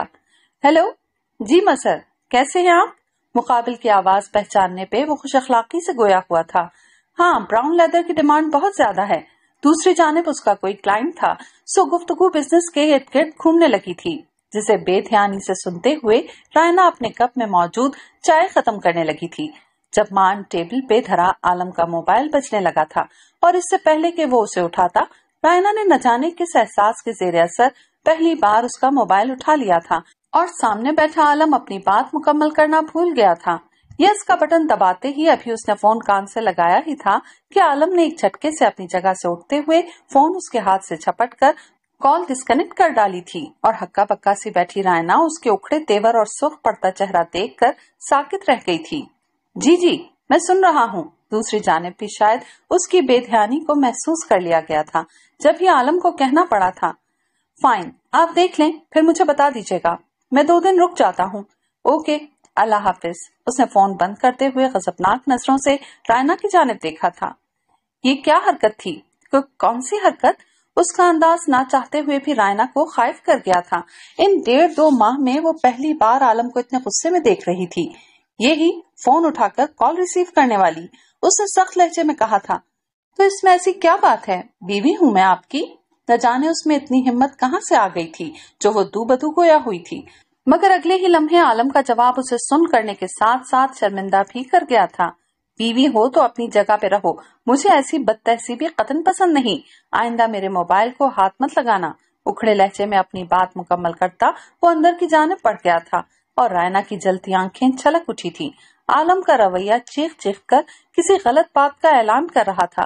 کوئی ایسی بات جسے رائنا سے چھپانا مقصود تھا، اور وہ کیا ہو سکتی تھی؟ اس بھید کو پانے کے لیے اسے زیادہ سوچنے کی ضرورت نہ تھی۔ اگلی صبح معمول کے مطابق تھی، مگر ان دونوں کے درمیان چھائی خاموشی ان ڈیڑھ دو مہینوں میں پہلا اتفاق تھی۔ اس لیے عالم کو خاصی محسوس بھی ہو رہی تھی۔ اس میں کوئی شک نہ تھا کہ کل جب رائنا نے اس کا فون اٹھا لیا تھا تو اس کی روح فنا ہو گئی تھی اور وہ قصدن اس سے سختی سے پیش آیا تھا کہ وہ یہ رسک دوبارہ کسی طور نہیں لینا چاہتا تھا۔ لیکن یہ بھی حقیقت تھی کہ اسے منع کرنے کے چکر میں وہ خاصے سخت جملے بول گیا تھا جو اب رہ رہ کر اسے اپنی غلطی کا احساس دلا رہے تھے۔ مگر اس سب کے نتیجے میں جو ایک بات اسے مثبت لگی تھی وہ رائنا کے اس کی ذات کے متعلق پیدا ہونے والے خدشات کا مضبوط ہونا تھا۔ جس کے لیے ان گزرے دنوں میں اس نے بے تحاشا پاپڑ بیلے تھے، جن میں سر فہرست ہنی مون کا کینسل ہونا بھی تھا، مگر فی الوقت اس کی یہ خاموشی اور سوجی ہوئی آنکھیں عالم کو نادم کر رہی تھیں۔ جب ہی جس وقت وہ نہا کے واش روم سے باہر آیا، تو رائنا کو کمرے میں پا کر آہستگی سے چلتا اس کے پیچھے آ کھڑا ہوا۔ ابھی تک ناراض ہو، اسے اپنے بازو کے حلقے میں لیتے ہوئے اس نے چہرہ اس کے کندھے پہ ٹکا دیا۔ میں کیا اور میری اوقات کیا؟ وہ ہاتھ میں پکڑا ہینگر سامنے بیڈ پر رکھتے ہوئے دل گرفتگی سے بولی، تو عالم شرمندہ ہو گیا۔ اچھا آئی ایم سوری یار۔ آپ کیوں سوری کر رہے ہیں؟ سوری تو مجھے کرنا چاہیے۔ مجھے واقعی اپنی حد پار نہیں کرنی چاہیے تھی۔ وہ بھرائے ہوئے لہجے میں گویا ہوئی، تو عالم کا دل ندامت کے احساس سے لبریز ہو گیا۔ کیوں مزید شرمندہ کر رہی ہو یار؟ میں پہلے ہی اتنا گلٹی فیل کر رہا ہوں۔ وہ نرمی سے اس کا رخ اپنی جانب موڑتے ہوئے بولا، تو نہ چاہتے ہوئے بھی آنسو رائنا کے گالوں پہ پھسل آئے۔ جنہیں اس نے محبت سے اپنی انگلیوں پر سمیٹ لیا۔ میں مانتا ہوں کہ کل شام میں نے تمہارے ساتھ بہت روڈلی بہیو کیا تھا اور مجھے ایسا نہیں کرنا چاہیے تھا۔ اور میں بھی مانتی ہوں کہ مجھے یوں آپ کی کال ریسیو نہیں کرنی چاہیے تھی۔ نظریں جھکائے، اس نے بھی دھیمے لہجے میں اپنی غلطی کا اعتراف کیا تو اس کا معصومانہ انداز بے اختیار عالم کے لبوں پہ مسکراہٹ بکھیر گیا۔ ہوں۔ تو تم مانتی ہو کہ تم ایک گندی بچی ہو، کیونکہ مینرز کے خلاف حرکت کی تھی۔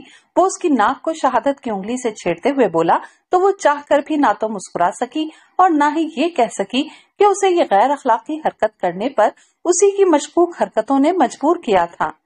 دیکھو یار، تم میری بیوی ہو اور میرا تمہارا کوئی پردہ نہیں، لیکن میرے موبائل پہ اچھے برے ہر طرح کے مردوں کی کالز آتی ہیں۔ اور مجھے یہ بالکل پسند نہیں کہ کوئی تمہاری آواز سن کے الٹے سیدھے اندازے لگائے۔ وہ اسے باز رکھنے کو قصدن سنجیدگی سے بولا، اتنے پازیٹو ہیں میرے معاملے میں۔ آہستگی سے نظریں اٹھاتے ہوئے اس نے بغور عالم کی جانب دیکھتے ہوئے عجیب سے لہجے میں سبسار کیا۔ کیوں؟ نہیں ہونا چاہیے کیا؟ اس نے مسکراتے ہوئے الٹا اس سے پوچھا، تو رائنا دھیرے سے اسپات میں سر ہلا گئی۔ ہونا چاہیے، لیکن اگر میں یہ کہوں کہ میں بھی آپ کے معاملے میں اتنی ہی پازیٹو ہوں تو؟ تو میں یہ کہوں گا کہ میں تمہیں کبھی شکایت کا موقع نہیں دوں گا۔ وعدہ، اس نے پرکتی نظروں سے عالم کے مسکراتے چہرے کو جانچتے ہوئے کہا تو اس نے دھیرے سے رائنا کو اپنی جانب کھینچ لیا۔ پکا وعدہ، اور اس کے سینے سے لگی رائنا نے تھک کر اپنی جلتی آنکھیں موند لی تھیں۔ سر یہ مظہر صاحب کے فائنل آرڈر کی ڈیٹیلز ہیں۔ ثاقب نے چند لمحے پہلے موصول ہونے والا فیکس اس کی جانب پڑھاتے ہوئے کہا، تو عالم نے ایک نظر کلائی پہ بندھی کھڑی پہ ڈالتے ہوئے پرچہ تھام لیا۔ ٹھیک ہے، آپ اب ایسا کریں کہ سلیم صاحب کو دے دیں۔ میں نے انہیں ساری تفصیل سے آگاہ کر دیا ہے۔ وہ بغور ساری ڈیٹیلز چیک کرتے ہوئے بولا، تو ثاقب اسوات میں سر ہلاتا پرچہ اس کے ہاتھ سے لے کر باہر کی جانب بڑھ گیا۔ جبکہ عالم دوبارہ سامنے رکھی فائل کی طرف متوجہ ہو گیا۔ مگر موبائل کی بیل نے اسے ایک بار پھر سر اٹھانے پر مجبور کر دیا۔ زہ نصیب، یہ آج تو نے خود کیسے کال کرنے کی زحمت کر لی؟ اسکرین پہ جگمگاتا نمبر دیکھ کر وہ بے اختیار فون کان سے لگا گیا تھا۔ یوں ہی دل کر رہا تھا تجھ سے بات کرنے کو۔ دوسری جانب سے شاہ نواز کی بوجھل آواز سنائی تھی تو عالم کی آنکھوں میں سوچ کی پرچھائیاں ترائیں۔ اچھا تو یہ بتا کہ پریشان کیوں ہے؟ اور نواز بے اختیار ایک گہری سانس لے کر رہ گیا۔ ان کی دوستی کی یہی تو سب سے بڑی سچائی تھی کہ انہیں ایک دوسرے کو خود سے کچھ نہیں بتانا پڑتا تھا، بلکہ مقابل آواز سے دل کا حال جان لیتا تھا۔ میرا رشتہ طے ہو گیا ہے، وہ دھیمے لہجے میں بولا، تو عالم بے اختیار سیدھا ہو بیٹھا۔ کس سے؟ گل رخ سے۔ چونکہ عالم گل رخ سے واقف تھا، اس لیے نواز نے فقط اتنا ہی کہا تھا۔ اور دوسری طرف وہ اس کا مسئلہ جاننے کے باوجود خوشگوار انداز میں گویا ہوا تھا۔ تو گدھے، اس میں پریشان ہونے والی کیا بات ہے؟ یہ تو بڑی خوشی کی خبر ہے یار۔ یہ خوشیاں ہی تو مجھے راس نہیں آتی۔ وہ جیسے اس کی سادگی پہ ہنسا تھا۔ اللہ نے چاہا تو اب کے ضرور راس آئیں گی۔ وہ یقین سے گویا ہوا تو نواز کے لبوں پہ پھیکی سی مسکراہٹ آن ٹھہری۔ تو اتنے یقین سے کیسے کہہ سکتا ہے؟ اس لیے کہ میں جانتا ہوں کہ تو نے اپنی غلطی کا اپنی ہمت سے بڑھ کے کفار ادا کیا ہے۔ وہ اپنے سابقہ انداز میں بولا تو نواز کی مسکراہٹ سے مٹ گئی۔ یہ حقوق و لباد کا معاملہ ہے۔ یہاں اللہ بھی غلطی کو جب ہی معاف کرتا ہے، جب اس کا بندہ اپنے گناہ گار کو معاف کرتا ہے۔ اور میری ذات اب بھی رائنا کی گناہ گار ہے۔ دل گرفتگی سے بولتا، وہ عالم کے لگائے اندازے کو درست ثابت کرتا چلا گیا تھا۔ ہاں لیکن تو یہ مت بھول کہ اللہ نیتوں کے حال جانتا ہے اور تو نے جس نیک نیتی سے اپنا کفارہ ادا کیا ہے، وہ اسے قبولیت کے درجے تک پہنچانے کے لیے کافی ہے۔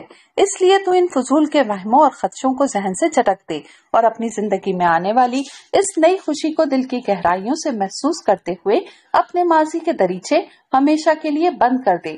اس نے نرمی سے اسے سمجھایا تو نواز فقط ایک گہری سانس کھینچ کر رہ گیا۔ اچھا یہ بتا کہ تجھے شادی پہ کیسا گفٹ چاہیے؟ وہ قصدن موضوع کو پلٹ گیا تھا۔ تو میری شادی پہ نہیں آئے گا۔ نواز نے سپاٹ سے لہجے میں اسے مطلع کیا۔ واہ! کیسے نہیں آؤں گا؟ بلکہ میں تو ہفتہ پہلے ہی پہنچ جاؤں گا۔ وہ چمک کر بولا تو نواز کا ضبط جواب دے گیا۔ عالم، اس نے سخت لہجے میں تمبی کی تو عالم قیاس کے لبوں پہ بڑی جاندار سے مسکراہٹ پھیل گئی۔ اچھا ٹھیک ہے، لیکن پھر تو وعدہ کر کہ شادی سے پہلے تو مجھ سے ملنے ضرور آئے گا۔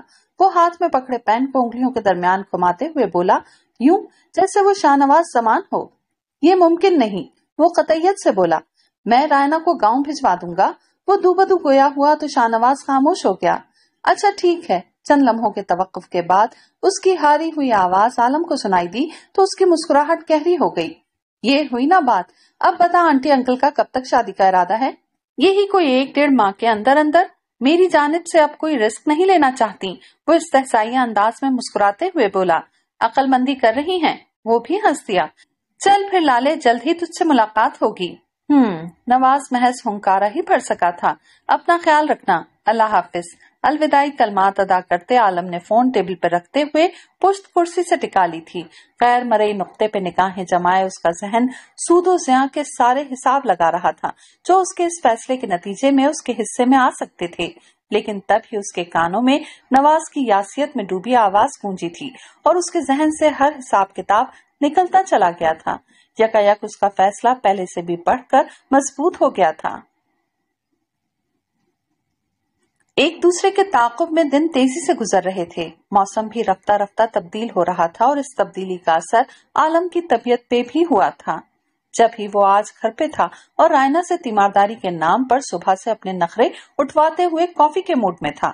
اس کی توجہ، اس کی محبت عالم کو اندر سے سرشار کی دے رہی تھی اور یہ احساس اس کے لیے خاصا انوکھا اور کیف آگی تھا۔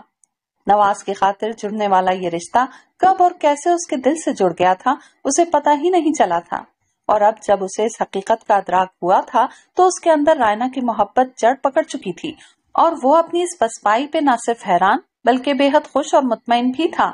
یہ سوپ میں تم نے چلی سوس کم کیوں ڈالا ہے؟ وہ اس کی فرمائش پہ ہاٹ اینڈ سور سوپ نہ صرف بنا کے لائی تھی، بلکہ اب اس کے پاس بیٹھی، اسے پلا بھی رہی تھی۔ جب دوسرے ہی چمچے پہ وہ منہ بناتے ہوئے بولا تھا، میرے خیال میں آپ بیمار ہیں۔ اس نے تنزیہ نظروں سے عالم کی جانب دیکھا تھا۔ ہاں تو بیماری کا مطلب یہ تھوڑا ہی ہے کہ انسان کی زبان ذائقہ محسوس کرنا بھی چھوڑ دے۔ حواس کام کرنا چھوڑ دیں۔ وہ گڑبڑا کے گویا ہوا تھا۔ عموماً تو یہی ہوتا ہے کہ اصلی بیماری میں مریض کو ذائقہ سمجھ میں نہیں آتا۔ مسکراہٹ دبائے وہ چمچا اس کی طرف بڑھاتے ہوئے بولی، تو عالم مصنوعی خفکی سے اسے تکنے لگا۔ تو تمہارا مطلب ہے کہ میں ڈرامہ کر رہا ہوں۔ اللہ نہ کرے۔ اس نے ہاتھ میں پکڑا چمچا باؤل میں رکھتے ہوئے فہمائشی نظروں سے عالم کو دیکھا جو اس کے جواب پہ مطمئن سا ہو گیا تھا۔ آپ تو بس تھوڑی سی ایکٹنگ کر رہے ہیں۔ شرارت سے اس کی جانب دیکھتے ہوئے اس نے اپنا جملہ مکمل کیا تو عالم کا اطمینان بھگ سے اڑ گیا۔ رائنا کی بچی، وہ جب تک سمجھ کے رد عمل ظاہر کرنے کے قابل ہوا تھا، وہ باؤل ٹرے میں رکھتی کھلکھلاتی ہوئی دور جا کھڑی ہوئی تھی۔ آنا ذرا ادھر، بتاؤں گا تمہیں مزہ۔ بمشکل تمام اپنی مسکراہٹ دبائے اس نے ہنستی ہوئی رائنا کو گھورا۔ قسم سے عالم، اتنی بیماری نہیں جتنا آپ نے شور مچا رکھا ہے۔ وہ ہنسی کے درمیان بولی تو وہ خود پہ سنجیدگی تاری کرتے ہوئے سے بولا اتنی یا اتنی۔ میں جب بھی بیمار ہوتا ہوں، اتنا ہی شور مچاتا ہوں۔ یعنی آپ مانتے ہیں کہ آپ شور مچاتے ہیں۔ اس نے اپنی ہنسی کنٹرول کرتے ہوئے عالم کی جانب دیکھا۔ ہاں کیونکہ یہ کلی طور پر مریض کی مرضی ہوتی ہے کہ وہ شور مچائے یا چپ کر کے لیٹے۔ اس نے انتہائی سنجیدگی سے اپنا فلسفہ بگھارا تو رائنا بھی شرارت سے اس بات میں سر ہلا گئی۔ او اچھا اچھا۔ تو پھر اب آپ کا کیا پروگرام ہے؟ شور مچانا ہے یا چپ کر کے لیٹنا ہے؟ لیٹنا ہے اور تم ادھر آ کے میرا سر دباؤ۔ وہ اسے گھورتے ہوئے دراز ہو گیا تو رائنا مسکراتے ہوئے اپنی جگہ پر آ بیٹھی اور آہستگی سے اس کا سر دبانے لگی۔ وہ آنکھیں موندے اس کے ہاتھوں کی نرمی محسوس کر رہا تھا۔ رائنا، اس نے اچانک سے اسے پکارا تو وہ اپنے دھیان سے چونکتے ہوئے اس کا چہرہ تکنے لگی۔ تمہیں مجھ سے کتنی محبت ہے؟ اس نے اپنی آنکھیں کھولتے ہوئے اس کی آنکھوں میں دیکھا تو وہ دھیرے سے مسکرا دی اتنی جتنی باوفا بیوی کو ایک اچھے شوہر سے ہوتی ہے اور آپ کو تم سچ سننا چاہو گی یا مبالغہ آرائی سے کام لوں؟ عالم نے سنجیدگی سے پوچھا تو وہ سنجیدہ ہو گئی۔ بالکل سچ۔ اچھا تو پھر میں بھی اب تمہیں چاہنے لگا ہوں۔ گمبھیر لہجے میں کہتے، اس نے رائنا کا ہاتھ تھام کے لبوں سے لگا لیا تو وہ چند لمحے اس کے چہرے کو خاموش نظروں سے دیکھتی، پھیکے سے مسکرا دی پتا نہیں کیوں، لیکن لفظ اب دل کے کسی کونے میں بڑے برے طریقے سے چپ گیا تھا۔ اگلی صبح وہ آفس کے لیے تیار ہو رہا تھا جب اسے نواز کا میسج موصول ہوا، جس میں اس نے دو دن بعد اپنی اسلام آباد آمد کے متعلق اسے بتایا تھا۔ موبائل ہاتھ سے رکھتے ہوئے اس کا ذہن بڑی تیزی سے کچھ نئے تانے بانوں میں الجھا تھا، جس کے نتیجے میں جب چند لمحوں بعد رائنا کمرے میں داخل ہوئی تو وہ اپنا بند فون کان سے لگائے یوں ظاہر کر رہا تھا جیسے وہ کسی سے محو گفتگو ہو۔ مگر جو ہی اس کی نکاح رائنا پہ پڑی، وہ بے اختیار خاموش ہو گیا۔ اس کے یوں یکلق چپ کر جانے پہ رائنا نے چٹک کر اس کی جانب دیکھا تھا۔ دونوں کی نظریں ملی تھی اور نہ جانے کیوں، وہ رخ پھیر گیا تھا۔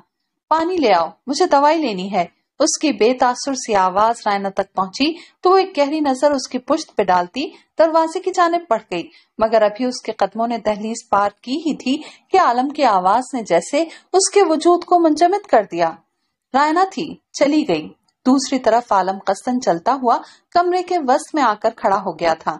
اد کھلے دروازے سے نظر آتا رائنا کا گلابی آنچل اس بات کا غماز تھا کہ وہ اپنے پلان میں کامیاب ہو چکا ہے۔ ہاں یار، تم اسلام آباد پہنچو تو صحیح، پرسوں کا سارا دن تمہارے ساتھ گزاروں گا۔ عالم کی آواز میں موجود کھنک نے رائنا کو بے اختیار لب کھینچنے پر مجبور کر دیا تھا۔ رائنا اس سے کسی ضروری میٹنگ کا بہانہ کر دوں گا۔ چند سیکنڈ مقابل کی بات سننے کے بعد انتہائی مطمئن انداز میں اس نے اپنا لائحہ عمل واضح کیا۔ تو رائنا کی آنکھوں میں جمع آنسو قطروں کی صورت اس کے چہرے پر بہ نکلے۔ اندر کھڑے شخص کی اچھائی اور اعلیٰ ظرفی کی وہ دل سے موترف تھی۔ وہ اس کا شوہر ہی نہیں، بلکہ اس کا مسیحا بھی تھا، جسے وہ دیوانگی کی حد تک چاہنے لگی تھی۔ اس کے متعلق ہر منفی خیال کو اس نے قصدن اپنے ذہن سے چھٹک ڈالا تھا۔ کہ وہ اپنے اللہ کے گناہ کار اور ناشکر بندوں میں شامل نہیں ہونا چاہتی تھی، مگر اس کا یہ روپ رائنا کے احساسات کا نہیں، بلکہ اس کے پورے وجود کی تھجیاں بکھیر گیا تھا۔ جس کے بعد وہ زندگی کس طور گزارنے والی تھی، اسے معلوم نہ تھا۔ پھر پرسوں سرینا میں ڈنر تو کنفرم ہے نا؟ عالم کی آواز پکھلے ہوئے سیسے کے مانند اس کے کانوں میں پڑی تو مارے اذیت کے اس نے سختی سے اپنی آنکھیں بند کر لی ٹھیک ہے۔ پھر رات آٹھ بجے میں تمہیں تمہارے فلیٹ سے پک کر لوں گا۔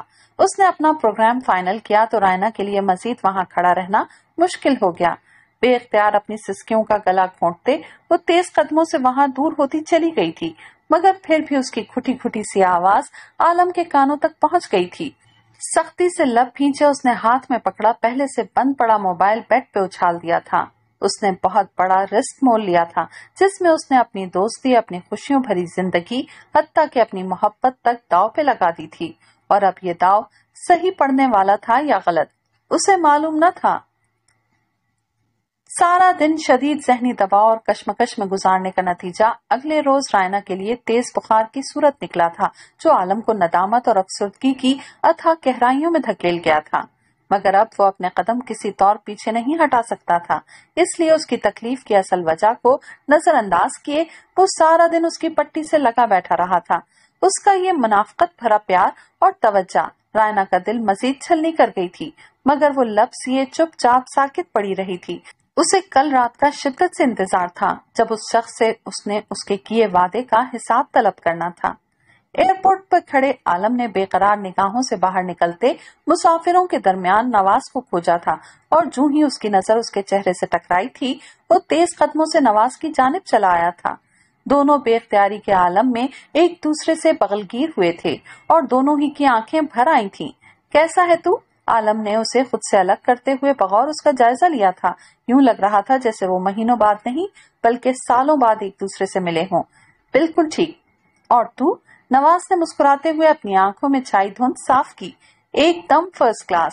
عالم نے اس کے ہاتھ سے ٹرالی لے کر گھسیٹتے ہوئے جواب دیا، تو نواز بھی اس کے ساتھ چل پڑا۔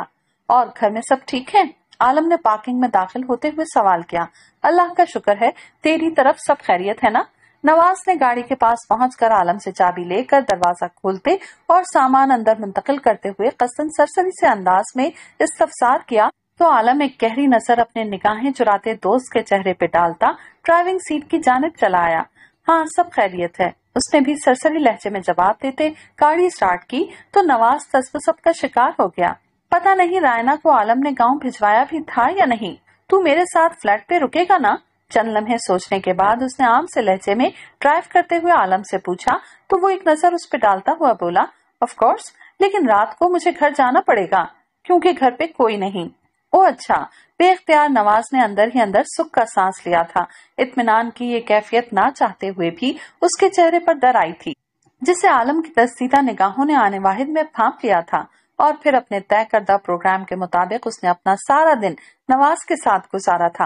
موبائل بھی اس نے قصدن آف کر دیا تھا۔ لیکن پانچ بجے کے قریب وہ ایک ضروری کام کا بہانہ کرتے ہوئے وہاں سے نکل کر گھر چلا آیا تھا، جہاں رائنا اپنی ساری بیماری بھلائے، اس کی توقع کے عین مطابق نہ صرف اس کی منتظر تھی، بلکہ خاصے غصے میں بھی تھی۔ کہاں تھے آپ سارا دن؟ وہ چینج کر کے ڈریسنگ روم سے باہر آیا تو وہ خود پہ ضبط کرتی اس کے پاس چلی آئی۔ اس کی سوجی ہوئی آنکھیں اس بات کی گواہ تھی کہ وہ سارا دن روتی رہی ہے۔ اس کی حالت پہ بے اختیار عالم کے دل کو کچھ ہوا تھا، لیکن وہ جان بوجھ کر انجان بن گیا۔ اسلام آباد سے کچھ کلائنٹس آئے ہوئے ہیں۔ ان کے ساتھ تھا۔ وہ بالوں میں برش کرتے ہوئے اطمینان سے بولا، تو رائنا اس کے اس درجہ اعتماد کو دیکھ کر رہ گئی۔ بے اختیار اسے اپنے دل میں درد کی ایک تیز لہر اٹھتی محسوس ہوئی تھی، جس نے اس کی آنکھوں کے گوشے نم کر ڈالے تھے، لیکن وہ کمال ہمت سے خود کو سنبھال گئی تھی۔ تو آپ نے موبائل کیوں آف کر رکھا تھا؟ اس نے گہری نظروں سے عالم کے وجی چہرے کی جانب دیکھا۔ پتا نہیں کیوں، لیکن یہ چہرہ ایک دھوکے باز کا چہرہ ہو سکتا ہے، اسے یقین نہ آ رہا تھا۔ یار، بار بار کالز ڈسٹرب کرتی ہیں، اس لیے میں نے آف کر دیا تھا۔ تم سناؤ، طبیعت کیسی ہے اب اس نے پوچھنے کے ساتھ ساتھ آگے پڑھ کر اس کی پیشانی پہ ہاتھ رکھ دیا تو مارے ازیت کے رائنا کی روح تک میں چلن سرائیت کر گئی۔ ٹھیک ہے۔ اس نے حلق میں پھنسے گولے کو بمشکل تمام نیچے اتارتے ہوئے آہستگی سے اس کا ہاتھ ہٹا دیا تھا اور عالم اس بات کو محسوس کرنے کے باوجود پلٹ کر بیٹ کی طرف چلا آیا تھا۔ اب تو آپ گھر پر ہی رہیں گے نا؟ اس نے اپنے اندر پر شور کو نظر انداز کرتے ہوئے پوچھا، نہیں یار، انہیں ڈنر پر لے کے جانا ہے۔ کیوں؟ خیر ہے۔ اس نے بیڈ پہ نیند دراز ہوتے ہوئے بغور رائنا کی جانب دیکھا، جس کی رنگت اس کے جواب پہ متغیر ہو گئی تھی۔ ویسے ہی پوچھ رہی تھی کہ شاید آپ کا ارادہ بدل گیا ہو۔ تنزیہ لہجے میں کہتے اس نے کاٹدار نظروں سے عالم کے چہرے کی طرف دیکھا۔ کیسا ارادہ؟ عالم نے قصدن الجھ کر اسے دیکھا تو رائنا کا دل چاہا کہ وہ کہے، مجھے دھوکہ دینے کا۔ لیکن وہ ابھی کچھ کہہ کے رات کا بھرپور موقع نہیں گوانا چاہتی تھی۔ جب دودھ کا دودھ اور پانی کا پانی ہونے سے کوئی نہیں روک سکتا تھا۔ فی الوقت تو اس کے پاس عالم کو دھوکے باز ثابت کرنے کے لیے کوئی ثبوت نہ تھا۔ کچھ نہیں، وہ سرد لہجے میں کہتی پلٹ کر دروازے کی جانب پڑ گئی۔ یار، میرے لیے ایک کپ چائے تو بھجوا دو۔ سر میں سخت درد ہو رہا ہے۔ پیچھے سے عالم کی آواز آئی تو وہ بنا پلٹے اسپات میں سر ہلاتی کمرے سے نکلتی چلی گئی تھی۔ آنسو ایک بار پھر بڑی تیزی سے اس کے چہرے کو بھگونے لگے تھے۔ شام میں تقریباً ساڑھے سات بجے کے قریب عالم تیار ہو کر گھر سے نکلا تھا اور ٹھیک آٹھ بجے رائنا اپنی گاڑی میں سوار سرینا کی جانب روانہ ہوئی تھی۔ ہوٹل پہنچ کے وہ سیدھا ڈائننگ ہال کے ریسپشن پہ چلی آئی تھی، جہاں عالم غیاس کے نام سے دو بندوں کی ریزرویشن نے اسے سرتاپا سلگا دیا تھا۔ ریسپشنسٹ سے یہ جان کر کہ عالم صاحب اپنے گیسٹ کے ساتھ اندر ہال میں موجود ہیں، وہ ویٹر کی مائیت میں ہال میں چلی آئی تھی، جو اس کی اما پر اسے ایک علیحدہ ٹیبل پر بٹھا کر اس کے لیے پانی لینے چل دیا تھا۔ ویٹر کے جاتے ہی اس نے بے قرار نظروں سے وسیع ہال کو کھنگالنا شروع کیا تھا۔ مگر اتنے سارے لوگوں کے درمیان کسی کو تلاش کرنا، وہ بھی بیٹھے بیٹھے اور غیر محسوس انداز میں اتنا آسان نہ تھا۔ اس لیے جب ویٹر اس کے لیے پانی اور مینو کارڈ لے کر آیا، تو وہ اپنے اصلی پر اعتماد انداز میں گویا ہوئی۔ پلیز ذرا ریسپشن سے پتا کروا کے آئیں کہ مسٹر عالم غیاس کس ٹیبل پر بیٹھے ہیں۔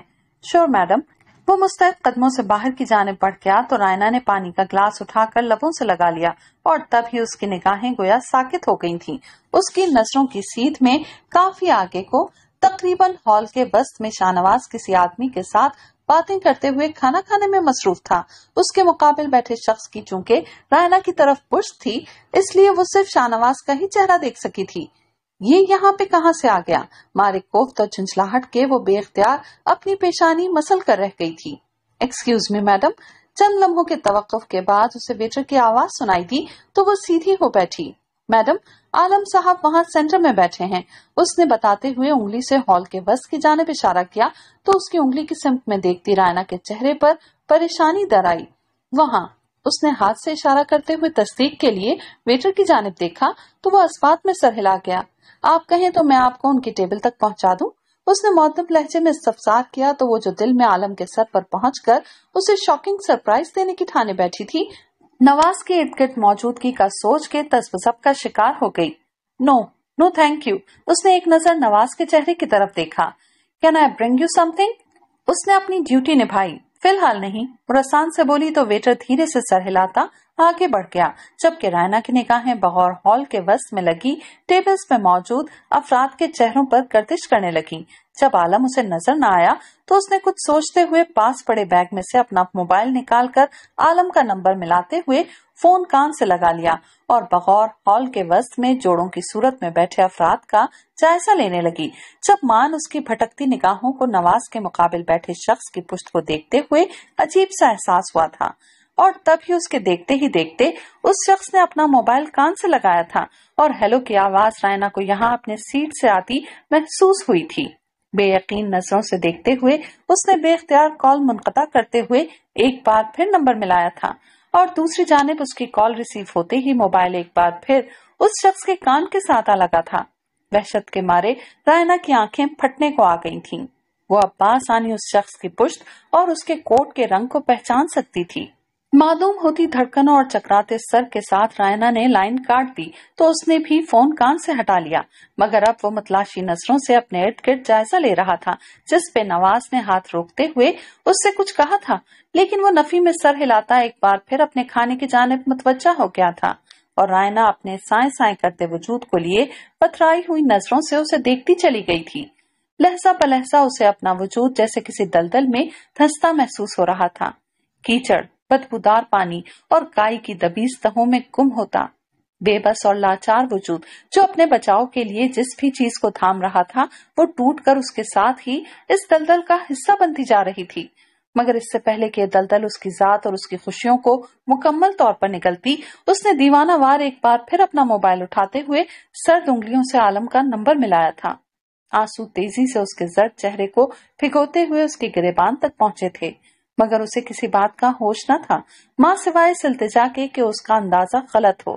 لیکن جب تیسری بار بھی عالم کی آواز سنائی دینے سے پہلے اس شخص نے اپنا فون اٹھا کر کان سے لگایا تو رائنا اپنی بے اختیار ہوتی سسکیوں کا گلا کھونٹنے کو لبوں پہ ہاتھ رکھتی، تیزی سے اٹھ کر ہال تو کیا ہوٹل سے ہی نکلتی چلی گئی تھی۔ اسے یوں زارو قطار روتے اور پاگلوں کی طرح بھاگتے دیکھ کر بہت سی حیران نظروں نے اس کا تعقب کیا تھا، مگر وہ ہر احساس سے بے نیاز اندھا دھن دوڑتے ہوئے فقط ایک ہی حقیقت سے نجات پانے کی شدت سے تمنائی تھی کہ اس دن جو اس کے کانوں نے سنا اور آج جو اس کی آنکھوں نے دیکھا، وہ جھوٹ ہو، غلط ہو، اس کی نظروں کا فریب ہو۔ مگر تک سچائی کسی بھیانک افریت کا روپ دھارے، ایک بار پھر اس کی ذات کو نگلنے کے لیے تیار کھڑی تھی۔ یکا یک رائنا کو دلدل کی ساری غلازت اپنے ناک، منہ اور آنکھوں میں گھستی محسوس ہوئی تھی، جس نے اس کا سانس تک لینا دشوار کر دیا تھا۔ زندگی کے اس شدید وار کو وہ اب کی بار سہ پائے گی بھی یا نہیں؟ اسے معلوم نہ تھا۔ عالم جس وقت گھر سے نکلا تھا، اسے اس بات کا پکا یقین تھا کہ رائنا اس کے پیچھے ہوٹل ضرور آئے گی اور یوں بلاخر آج وہ حقیقت بھی منکشف ہو جائے گی، جسے وہ کسی طور مزید نہیں چھپانا چاہتا تھا۔ لیکن وہاں رائنا کو نہ پا کر وہ نہ صرف حیران بلکہ خاصا مایوس بھی ہوا تھا۔ لیکن پیر در پہ آنے والی اس کی کالز نے عالم کو ٹھٹکنے پر مجبور کر دیا تھا۔ نواز کی موجودگی کے باعث وہ اسے رنگ بیک کرنے سے بھی گریزاں تھا۔ غیر محسوس انداز میں اپنے ارد گرد کا جائزہ لیتے ہوئے اس نے رائنا کو تلاشنے کی کوشش کی تھی، مگر نواز کے ٹوکنے پر وہ اپنی اس کوشش کو جاری نہ رکھ سکا تھا۔ لیکن پھر وقتاً فوقتاً اس کی نظریں ہال میں بھٹکتی رہی تھی مگر بے سود۔ کھانا ختم کر کے وہ دونوں لانگ ڈرائیو پہ نکل گئے تھے، جہاں سے واپسی پہ نواز کو ڈراپ کر کے وہ جس وقت گھر میں داخل ہوا، کھڑی رات کے ساڑھے گیارہ بجا رہی تھی۔ ملازم کو سارے گھر کی لائٹس اور لاک چیک کرنے کی ہدایت دیتا، وہ کمرے کی جانب چلا آیا تھا۔ ہینڈل پہ دباؤ بڑھاتے ہوئے اس نے جو ہی دروازہ دھکیلا، کمرے میں پھیلی تاریخی اسے الجھن میں مبتلا کر گئی۔ رائنا آگے بڑھ کے سوئچ بورڈ پہ ہاتھ مارتے ہوئے اس نے پریشانی سے اسے پکارتے ہوئے پیٹ کی جانب دیکھا تھا۔ لیکن وہاں کسی کو نہ پا کر وہ تیزی سے پلٹا تھا اور گویا ساکت رہ گیا تھا۔ سامنے دیوار سے سر ٹکائے وہ خلاؤں میں تکتی کسی ایسے مسافر کی طرح نڈھال بیٹھی تھی جس کا تمام تر زیادہ راہ کسی راہسن نے لوٹ لیا ہو اور اس کے پاس سوائے آنسو کے اور کچھ نہ بچا ہو۔ اس کی دیگر گوں حالت کو دیکھتے ہوئے بے اختیار عالم کے ذہن میں کلک سا ہوا تھا اور اگلے ہی لمحے اس کی حیثیت کا احساس عالم کو لب پھینچنے پر مجبور کر گیا تھا۔ چار مہینے بعد میں آج ایک بار پھر اسی بند گلی میں آ کھڑی ہوئی ہوں جہاں پانچ سال قبل کھڑی تھی۔ کمرے کی خاموش فضا میں یک یک رائنا کی نم آواز ابری تھی اور اس پہ نگاہیں جمائے کھڑا عالم اپنے شک کو سچ ہوتا دیکھ کر ایک گہری سانس لے کر رہ گیا تھا۔ مگر اس بار درد بہت زیادہ ہے۔ بات کرتے کرتے یکلخت اس کی آواز کپ کپائی تو بے اختیار اپنی آنکھیں بند کر گئی اور کتنے ہی آنسو موتیوں کی صورت اس کے چہرے اور سامنے عالم کے دل پہ بکھر گئے۔ بدگمان ہو کر سوچو گی تو ہر چہرہ اور ہر کردار بدگمانی کی دھن میں لپٹا نظر آئے گا۔ قیاس آرائیوں کی یہ بھول بھلیاں تمہیں بھٹکا بھٹکا کے اس قدر نڈھال کر دیں گی کہ تم خود کو ہی کھو بیٹھو گی۔ اور میں تمہیں کسی قیمت پہ کھونا نہیں چاہتا۔ نرم لہجے میں کہتا، وہ اس کے سامنے دو زانو بیٹھ گیا۔ اور میرے لیے ان ساڑھے تین گھنٹوں میں خود کو کھونے سے بڑھ کر خوش کن احساس اور کوئی نہیں۔ لیکن میری ڈٹائی دیکھو، میں اب تک زندہ ہوں۔ اور حرام موت کو گلے لگانے کا مجھ میں حوصلہ نہیں۔ وہ آنکھیں بند کیے، سسکتے ہوئے بولی، تو عالم کا دل اسے ملامت کیے بنا نہ رہ سکا۔ کیا ضرورت تھی یہ سب کرنے کی؟ لیکن کیا پھر شاہنواز رائنا اور عالم کی اس کہانی کا وہی انجام ہونا چاہیے تھا؟ بے اختیار اس کے اندر سے ایک سوال اٹھا، تو وہ محبت سے اس کے بے جان ہاتھ پہ اپنا ہاتھ رکھ گیا۔ اتنی جلدی اپنی قسمت سے نالا ہونا اچھی بات نہیں۔ وہ بھی اس صورت میں جب انسان بہت سے اہم پہلوؤں سے نا واقف ہو، کیونکہ ہر بار کانوں سنا اور آنکھوں دیکھا، حقیقت کو بیان کرنے کے لیے کافی نہیں ہوتا۔ تو پھر حقیقت کیا ہے عالم؟ وہ ایک چھٹکے سے آنکھیں کھولتی، اپنے ہاتھ کو کھینچتے ہوئے چلائی تھی۔ یہ کہ تم شاہنواز سامان کو نہیں جانتے، یا یہ کہ تم اس بات سے انجان تھے کہ میں اس کی منقوہا تھی۔ اصیت اتنی شدید تھی کہ وہ یہ تک بھلا بیٹھی تھی کہ وہ اپنے شوہر سے کس انداز میں مخاطب ہے۔ میں نہ صرف شاہ نواز سامان کو جانتا ہوں، بلکہ اس بات سے بھی واقف ہوں کہ تم اس کی منقوہ تھی اس کی وحشت زدہ نگاہوں میں دیکھتا، وہ مضبوط لہجے میں بولا، تو رائنا کی آنکھوں میں درد کے ساتھ ساتھ حسرت بھی اتر آئی۔ کاش کاش کہ تم میرا دل رکھنے کو ہی کہہ دیتے کہ صرف یہی دونوں باتیں سچ ہیں، باقی سب جھوٹ۔ اب تک یہی تو کر رہا تھا، لیکن اب مزید نہیں۔ میں اور نواز ایک دوسرے کو آج سے نہیں، بلکہ پچھلے پانچ سال سے جانتے ہیں۔ تب سے جب وہ اپنی زندگی کے سب سے تلخ حادثے سے گزر کر اپنے ماں باپ گھر بار سب کچھ چھوڑ چھاڑ کر یہاں چلا آیا تھا۔ ہماری ملاقات کالج میں ہوئی تھی، جس کے بعد ہر گزرتا دن ہمیں ایک دوسرے کے لیے لازم و ملزوم بناتا چلا گیا تھا۔ ایسے میں اس کی زندگی کا کوئی بھی پہلو مجھ سے اور میری زندگی کی کوئی بھی سچائی اس سے چھپی نہیں رہی تھی۔ اور تم چونکہ اس کی ذات اور اس کی زندگی کا سب سے اہم ترین پہلو تھی، اس لیے میں تم سے چند ماہ قبل سے نہیں بلکہ پچھلے پانچ سالوں سے واقف ہوں۔ اس کے چہرے پر نگاہیں جمائے عالم نے بلاخر حقیقت پہ سے پردہ ہٹا دیا۔ رائنا کا سسکتا وجود اس انکشاف کی زد میں آ کے تڑپنا تک بھول گیا۔ ہاں آپ شاہ نواز کے دوست ہیں؟ اس کی آنکھیں بے یقینی سے پھیل گئیں۔ دوست نہیں، بھائی۔ کیونکہ یہ وہ شخص ہے جس نے نہ صرف اپنے حصے کی ساری خوشیاں ہم دونوں کی جھولی میں ڈال دی بلکہ ہماری زندگی کو ہر الجھن سے بچانے کے لیے وہ خود ان لوگوں میں واپس لوٹ گیا جنہیں وہ آج تک معاف نہیں کر سکا۔ کیا کیا مطلب؟ اس کے لیے یہ ساری گفتگو ایک مہمے کا روپ تھار چکی تھی جو لہسا ب لہسا اسے الجھائے چلا جا رہا تھا۔ مطلب یہ کہ وہ تم سے محبت نہیں، عشق کرتا ہے رائنا۔ عشق جس میں غرض نہیں ہوتی، جو صرف دینا جانتا ہے۔ لینا نہیں۔ ان پانچ سالوں میں اس نے صرف من و تو کی تصویر کی ہے۔ تمہاری آبادی اور اپنے لیے تم سے معافی کے سوا اس نے خدا سے تیسری کوئی دعا نہیں مانگی۔ تمہاری بربادی نے اسے پہروں رلایا ہے، تمہارے الوژنس نے اسے دیوانہ وار دوڑایا ہے، اور تمہاری نفرت نے اسے دل کا مریض بنا دیا ہے۔ لیکن وہ پھر بھی تمہارے بارے میں سوچنے سے باز نہیں آیا۔ یہاں تک کہ جب اسے انکل کے ہارٹ اٹیک اور یاور ملک کے بارے میں پتا چلا، تو وہ پریشانی سے پاگل ہو اٹھا۔ اس کا بس نہیں چل رہا تھا کہ وہ کیسے تمہاری راہ کا ہر کانٹا اپنی پلکوں سے چن لے۔ ایسے میں جب میں نے اسے کسی مفتی سے فتوا لینے اور تمہیں دوبارہ اپنانے کا مشورہ دیا تو پتا ہے اس نے کیا کہا؟ عالم نے دھندلی آنکھوں سے ایک پل کو رک کر ساکت بیٹھی رائنا کی طرف دیکھا۔ کیا؟ وہ جیسے کسی تلسم کے زیر اثر گمسم سی ہو چلی تھی۔ یہ کہ وہ تمہارے قابل نہیں۔ پانچ سال کی ریاست کے باوجود وہ خود کو تمہارے لائق نہیں سمجھتا تھا۔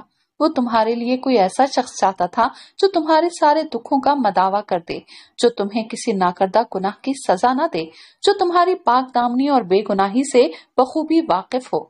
اور تب تب اس نے مجھ سے تمہیں اپنانے کے لیے کہا تھا۔ وہ دھیرے سے گویا ہوا تو رائنا کی سانس رک سی گئی۔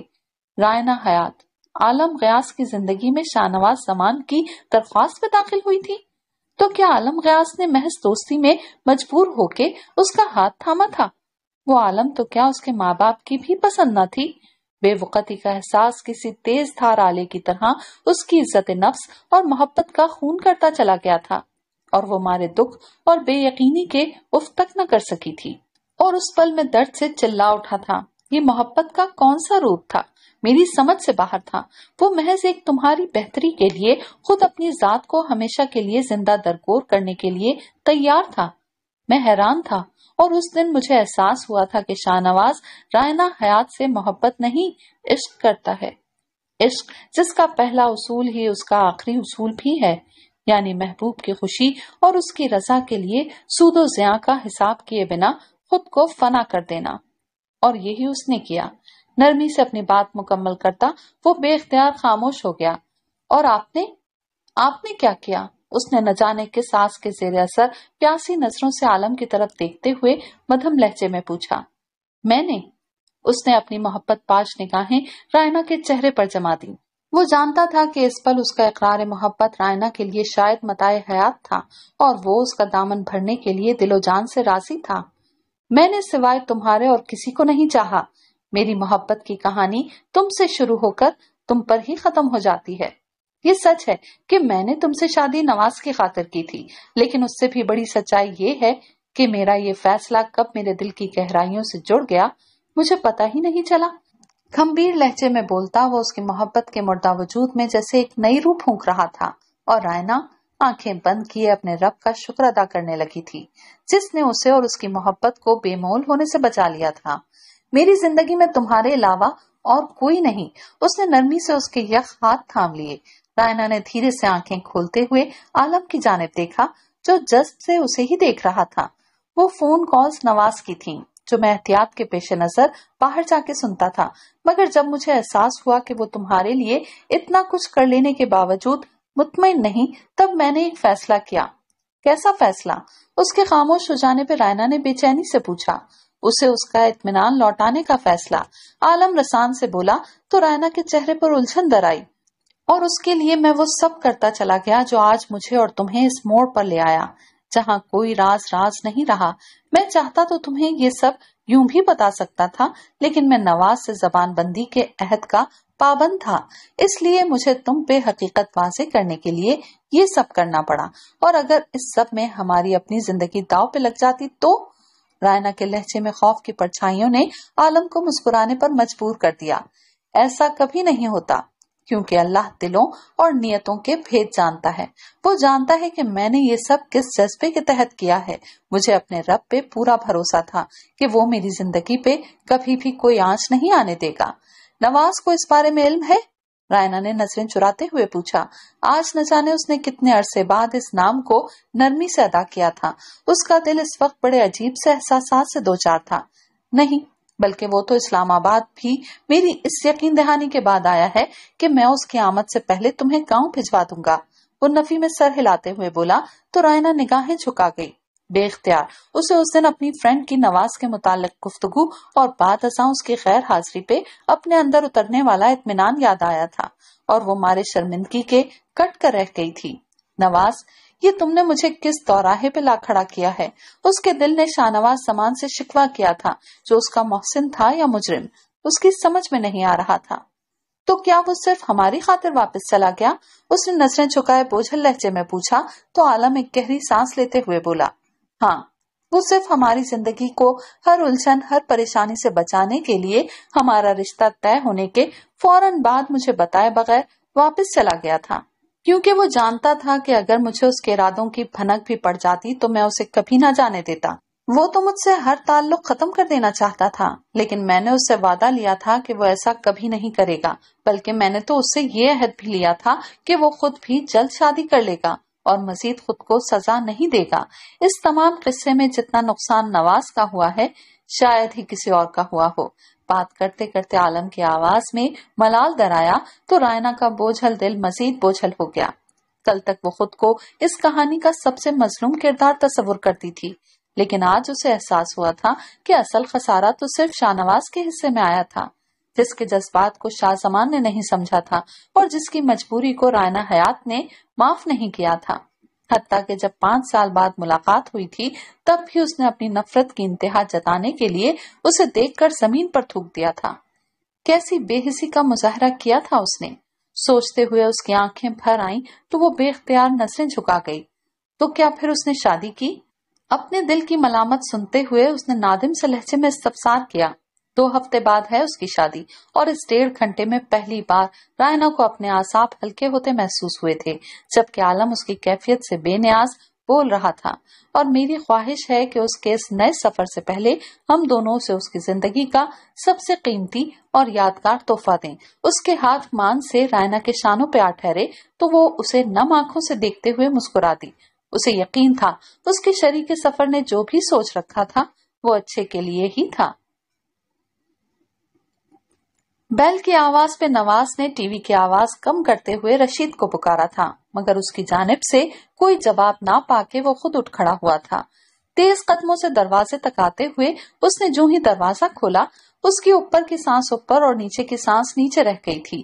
دہلیز کے دوسری طرف اس کے عین مقابل رائنا عالم کھڑی اس پہ حیرتوں کے پہاڑ توڑ گئی تھی۔ اندر آنے کے لیے نہیں کہو گے۔ اس کی اڑی ہوئی رنگت پہ نگاہیں جمائے وہ نرمی سے بولی تو شاہ نواز کی آنکھیں اس کے انداز پہ بے یقینی سے پھیل گئیں، لیکن اس کے قدم میکینکی انداز میں پیچھے ہٹے تھے اور رائنا ہوا کے سبک چھونکے کی طرح اندر چلی آئی تھی۔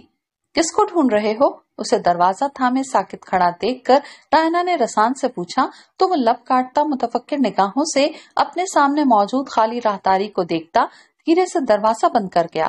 رائنا گاؤں کے بجائے یہاں اسلام آباد میں اور پھر اس کے گھر تک کیسے اور کیا لینے آئی تھی، اس کی سمجھ میں نہیں آ رہا تھا۔ میں نے پوچھا ہے، کس کو ڈھونڈ رہے ہو؟ اس کی پشت سے ایک بار پھر رائنا کی آواز ابری تو وہ بے اختیار ایک گہری سانس لیتا، خود کو نارمل کرنے لگا۔ کسی کو بھی نہیں، وہ آہستگی سے جواب دیتے ہوئے پلٹا تو نظریں رائنا کے چہرے سے جا ٹکرائیں جو بغور اسے ہی دیکھ رہی تھی۔ آر یو شیور کیا مطلب؟ اس نے الجھ کر رائنا کی جانب دیکھا۔ اس کے اندر کسی گڑبڑ کا احساس بڑی تیزی سے جاگا تھا۔ مطلب یہ کہ تمہارا انداز ایسا تھا جیسے تم کسی اور کو بھی ایکسپیکٹ کر رہے تھے۔ وہ نارمل سے انداز میں گویا ہوئی تو اس کا لبو لہجہ، نواز کی حیرت کو دو چند کر گیا۔ آخر یہ ہو کیا رہا تھا؟ پریشانی سے سوچتے ہوئے اس نے اچمبے سے رائنا کی طرف دیکھا۔ اگلے ہی پل اس نے احتیاط سے صورتحال سے نپٹنے کی ٹھانی تھی۔ میں کسی اور کو ایکسپیکٹ کر رہا تھا یا نہیں؟ لیکن رائنا حیات کو بالکل ایکسپیکٹ نہیں کر رہا تھا۔ وہ بے تاثر سے لہجے میں رائنا حیات پہ زور دیتے ہوئے بولا، تو وہ دھیمے سے مسکرا دی۔ رائنا حیات نہیں، رائنا عالم، میری شادی ہو چکی ہے۔ اس کی طرف دیکھتے ہوئے اس نے عجیب سے انداز میں تصحیح کی، تو نواز کا بے تاثر چہرہ مزید سپاٹ ہو گیا۔ مبارک ہو۔ تھینک یو تم اپنی فیملی سے نہیں ملواؤ گے۔ وہ اپنے سابقہ انداز میں بولی، تو نواز کا ضبط جواب دے گیا۔ پلیز مسز عالم آپ یہاں کیسے اور کس سلسلے میں آئی ہیں؟ مجھے کلیئر اینڈ کٹ ورڈز میں بتائیں۔ رائنا کی جانب دیکھتے ہوئے اس نے دو ٹوک الفاظ میں پوچھا۔ اس کا بس نہیں چل رہا تھا کہ وہ اڑ کر عالم کے سر پہ جا پہنچے اور اس سے رائنا کی یہاں اسلام آباد اور پھر اپنے گھر میں موجودگی کے متعلق پوچھے۔ لیکن اسے تو ایک لمحے کے لیے بھی عالم کی کسی بات سے یہ نہیں لگا تھا کہ اس نے اس سے جھوٹ بولا تھا۔ اور بھلا وہ یہ سب کرتا بھی کیوں کر؟ تو کہیں وہ بھی نواز کی طرح رائنا کی یہاں شہر میں موجودگی سے بے خبر تو نہیں تھا؟ کہیں رائنا کو کوئی شک تو نہیں ہو گیا تھا اور وہ اپنے طور پہ یہاں تک چلی آئی تھی؟ اس کی پریشانی تھی کہ لہسا پلحسا پڑتی چلی جا رہی تھی اور کوئی سرا ہاتھ آ کے نہیں دے رہا تھا۔ مسٹر شاہ نواز سمان آپ نے کوئی کام کلیئر اینڈ کٹ طریقے سے کیا ہے جو آپ مجھ سے واضح الفاظ میں میری یہاں آمد کا مقصد پوچھ رہے ہیں؟ اس نے یکلق تیوری چڑھاتے ہوئے کہا تو نواز کا دل تھک سے رہ گیا۔ یقیناً رائنا کو پھنک پڑ گئی تھی۔ اور اب کیا ہونے والا تھا؟ اسے معلوم نہ تھا۔ میں میں سمجھا نہیں۔ بظاہر پرسکون انداز میں اس نے خود سے کچھ بھی کہنے سے گریز کیا تھا۔ پتا نہیں رائنا کو کیا اور کس حد تک پتا تھا۔ وہ اس پل کسی بھی فاش غلطی کا متحمل نہیں ہو سکتا تھا۔ سمجھ جائیں گے۔ یہ بتائیں، آپ نے اب تک شادی کیوں نہیں کی؟ وہ باقاعدہ کسی مشاق وکیل کی طرح جرا پہ اتر آئی تھی۔ ان کی آوازیں سن کے رشید بھی وہاں چلا آیا تھا، لیکن ان کی گفتگو اور انداز پہ وہ اگلے ہی پل حیران پریشان سا وہاں سے کھسک گیا تھا۔ I think it's none of your business وہ آپ کے قصن سرد لہجے میں گویا ہوا تو رائنا دھیمے سے مسکرا دی۔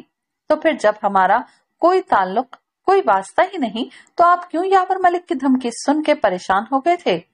کیوں یہ چاہتے تھے کہ میرے لیے کوئی ایسا شخص آئے جو میرے سارے دکھوں کا مداوع کرے، جو مجھے کبھی کسی ناکردہ گناہ کی سزا نہ دے۔ اس کے چہرے پر نگاہیں جمائے وہ بولتی چلی گئی تھی اور شاہ نواز زمان کی کاٹو تو بدن میں لہو نہیں والی کیفیت ہو گئی تھی۔ نواز، مجھے عالم نے آپ کی تڑپ سے لے کر آپ کی ریاست اور آپ کی قربانی تک ہر بات بتا دی ہے اور میری سمجھ میں نہیں آ رہا کہ میں آپ کو اپنا محسن کہوں یا مجرم۔ بات کرتے کرتے اس کی آواز پھرا گئی تو نواز کا سکتا جیسے ٹوٹ سا گیا اور اس کا ضبط عشق بھی اپنی آخری حد کو آن پہنچا۔ میں تمہارا مجرم تھا، ہوں اور رہوں گا۔ کوئی بھی عمل، کوئی بھی ریاست میرے اس ملال کو کم نہیں کر سکتی جو پانچ سال قبل تمہارے وجود کو سمی بوس ہوتا دیکھ کر میرے دامن سے آن لپٹا تھا۔ میری محبت آج بھی اسی دہلیز پہ کھڑی سسک رہی ہے، جہاں میں نے کسی کے معصوم یقین، مان اور پیار کو توڑا تھا۔ میں تمہارا گناہ گار ہوں رائنا، پھر بھی میں تم سے درخواست کرتا ہوں کہ مجھے معاف کر دو۔ اس کے سامنے ہاتھ باندھے وہ اونچا لمبا مرد پھپک کر رو دیا تو رائنا عالم کے آنسو میں بھی روانی آ گئی۔ ایسا مت کہے نواز کہ آپ بھی اتنے ہی مجبور تھے جتنی کہ میں۔ ہمارا رشتہ خود غرض اور انا پرس لوگوں کی پھینٹ چڑھ کر ٹوٹا تھا، یا پھر ہم ایک دوسرے کا نصیب ہی نہ تھے۔ میں نہیں جانتی، لیکن میں اتنا ضرور جانتی ہوں کہ آپ نے گناہ نہ کرنے کے باوجود جس طرح ان پانچ سالوں میں ہر لمحہ پچھتاوے اور ملال میں کھر کر گزارا ہے، اس نے آپ کے گناہ کے وجود کو سرے سے مٹا ڈالا ہوگا۔ آپ میرے گناہ کار نہ تھے اور نہ ہیں، اور اس مثبت سوچ اور رویے تک مجھے پہنچانے والے میرے شوہر اور آپ کی اعلیٰ ظرفی اور سچی محبت ہے۔ جس کا حق آپ نے ہر پل ادا کیا اور جس کی آج میں بھی قائل ہوئی۔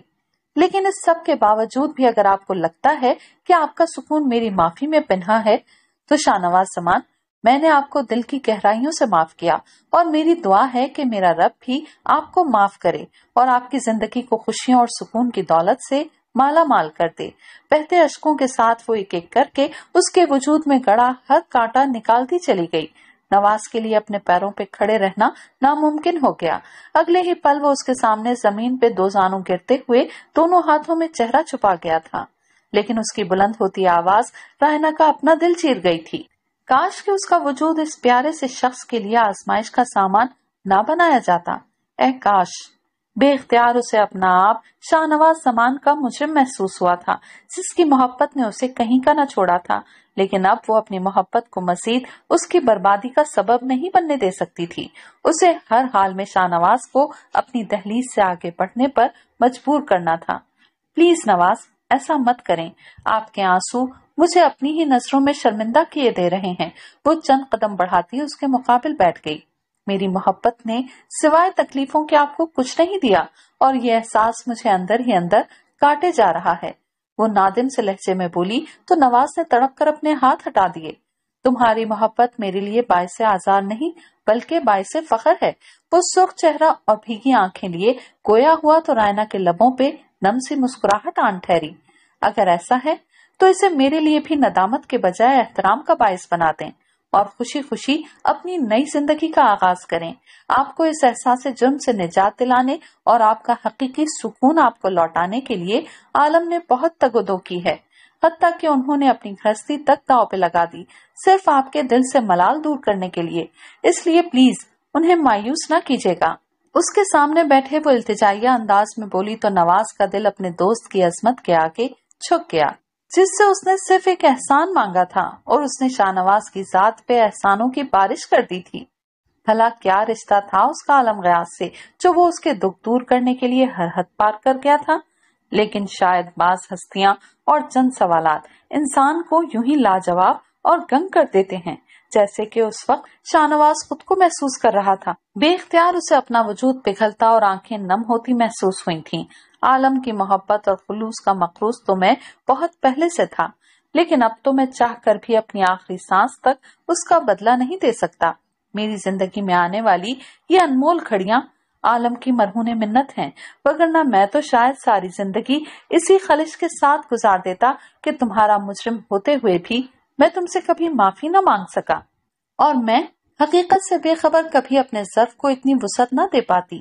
رائنا نے بھی بلا جھجک اعتراف کیا تو اس تمام عرصے میں پہلی بار نواز دھیرے سے مسکرا دیا۔ تو پھر یہ ثابت ہوا کہ ہم دونوں کا مسیحا ایک ہی شخص ہے۔ اس نے رائنا کی طرف دیکھتے ہوئے کہا، بالکل وہ مسکراتے ہوئے اپنی جگہ سے اٹھ کھڑی ہوئی اور اس مسیحا کو میری زندگی کا حصہ بنانے کے لیے آپ کا بہت بہت شکریہ۔ اس نے اپنے دل میں موزن تشکر کے احساس کو زبان دی تو نواز بھی مسکراتے ہوئے اٹھ کھڑا ہوا۔ لیکن اس سے پہلے کہ وہ کچھ کہتا، بیل کی آواز میں دونوں کو ایک دوسرے کی طرف دیکھنے اور نواز کو پلٹ کر آگے پڑھنے پر مجبور کر دیا۔ زندگی کا نیا آغاز مبارک ہو۔ دروازہ کھلتے ہی عالم کا کرنے بکھیرتا وجود مسکراتے ہوئے گویا ہوا تو نواز کے لبوں کی مسکراہٹ اور آنکھوں کی نمی بڑھ گئی۔ Thank you thank you for everything دل کی گہرائیوں سے کہتا وہ بےتابی سے عالم کے سینے سے آ لگا تھا اور پیچھے کھڑی رائنا کی آنکھیں چھل ملاتے ہوئے اپنی زندگی میں موجود ان دو منفرد مردوں کو رشک سے دیکھے گئی تھیں، جن میں سے ایک اس کے لیے قابل فخر اور دوسرا قابل احترام تھا۔ یہ ناول تو پہنچا اپنے اختتام تک، بہت جلد حاصل ہوتے ہیں کسی نئے ناول کے ساتھ۔ تب تک اپنا خیال رکھیے گا، دعاؤں میں یاد رکھیے گا۔ اللہ حافظ۔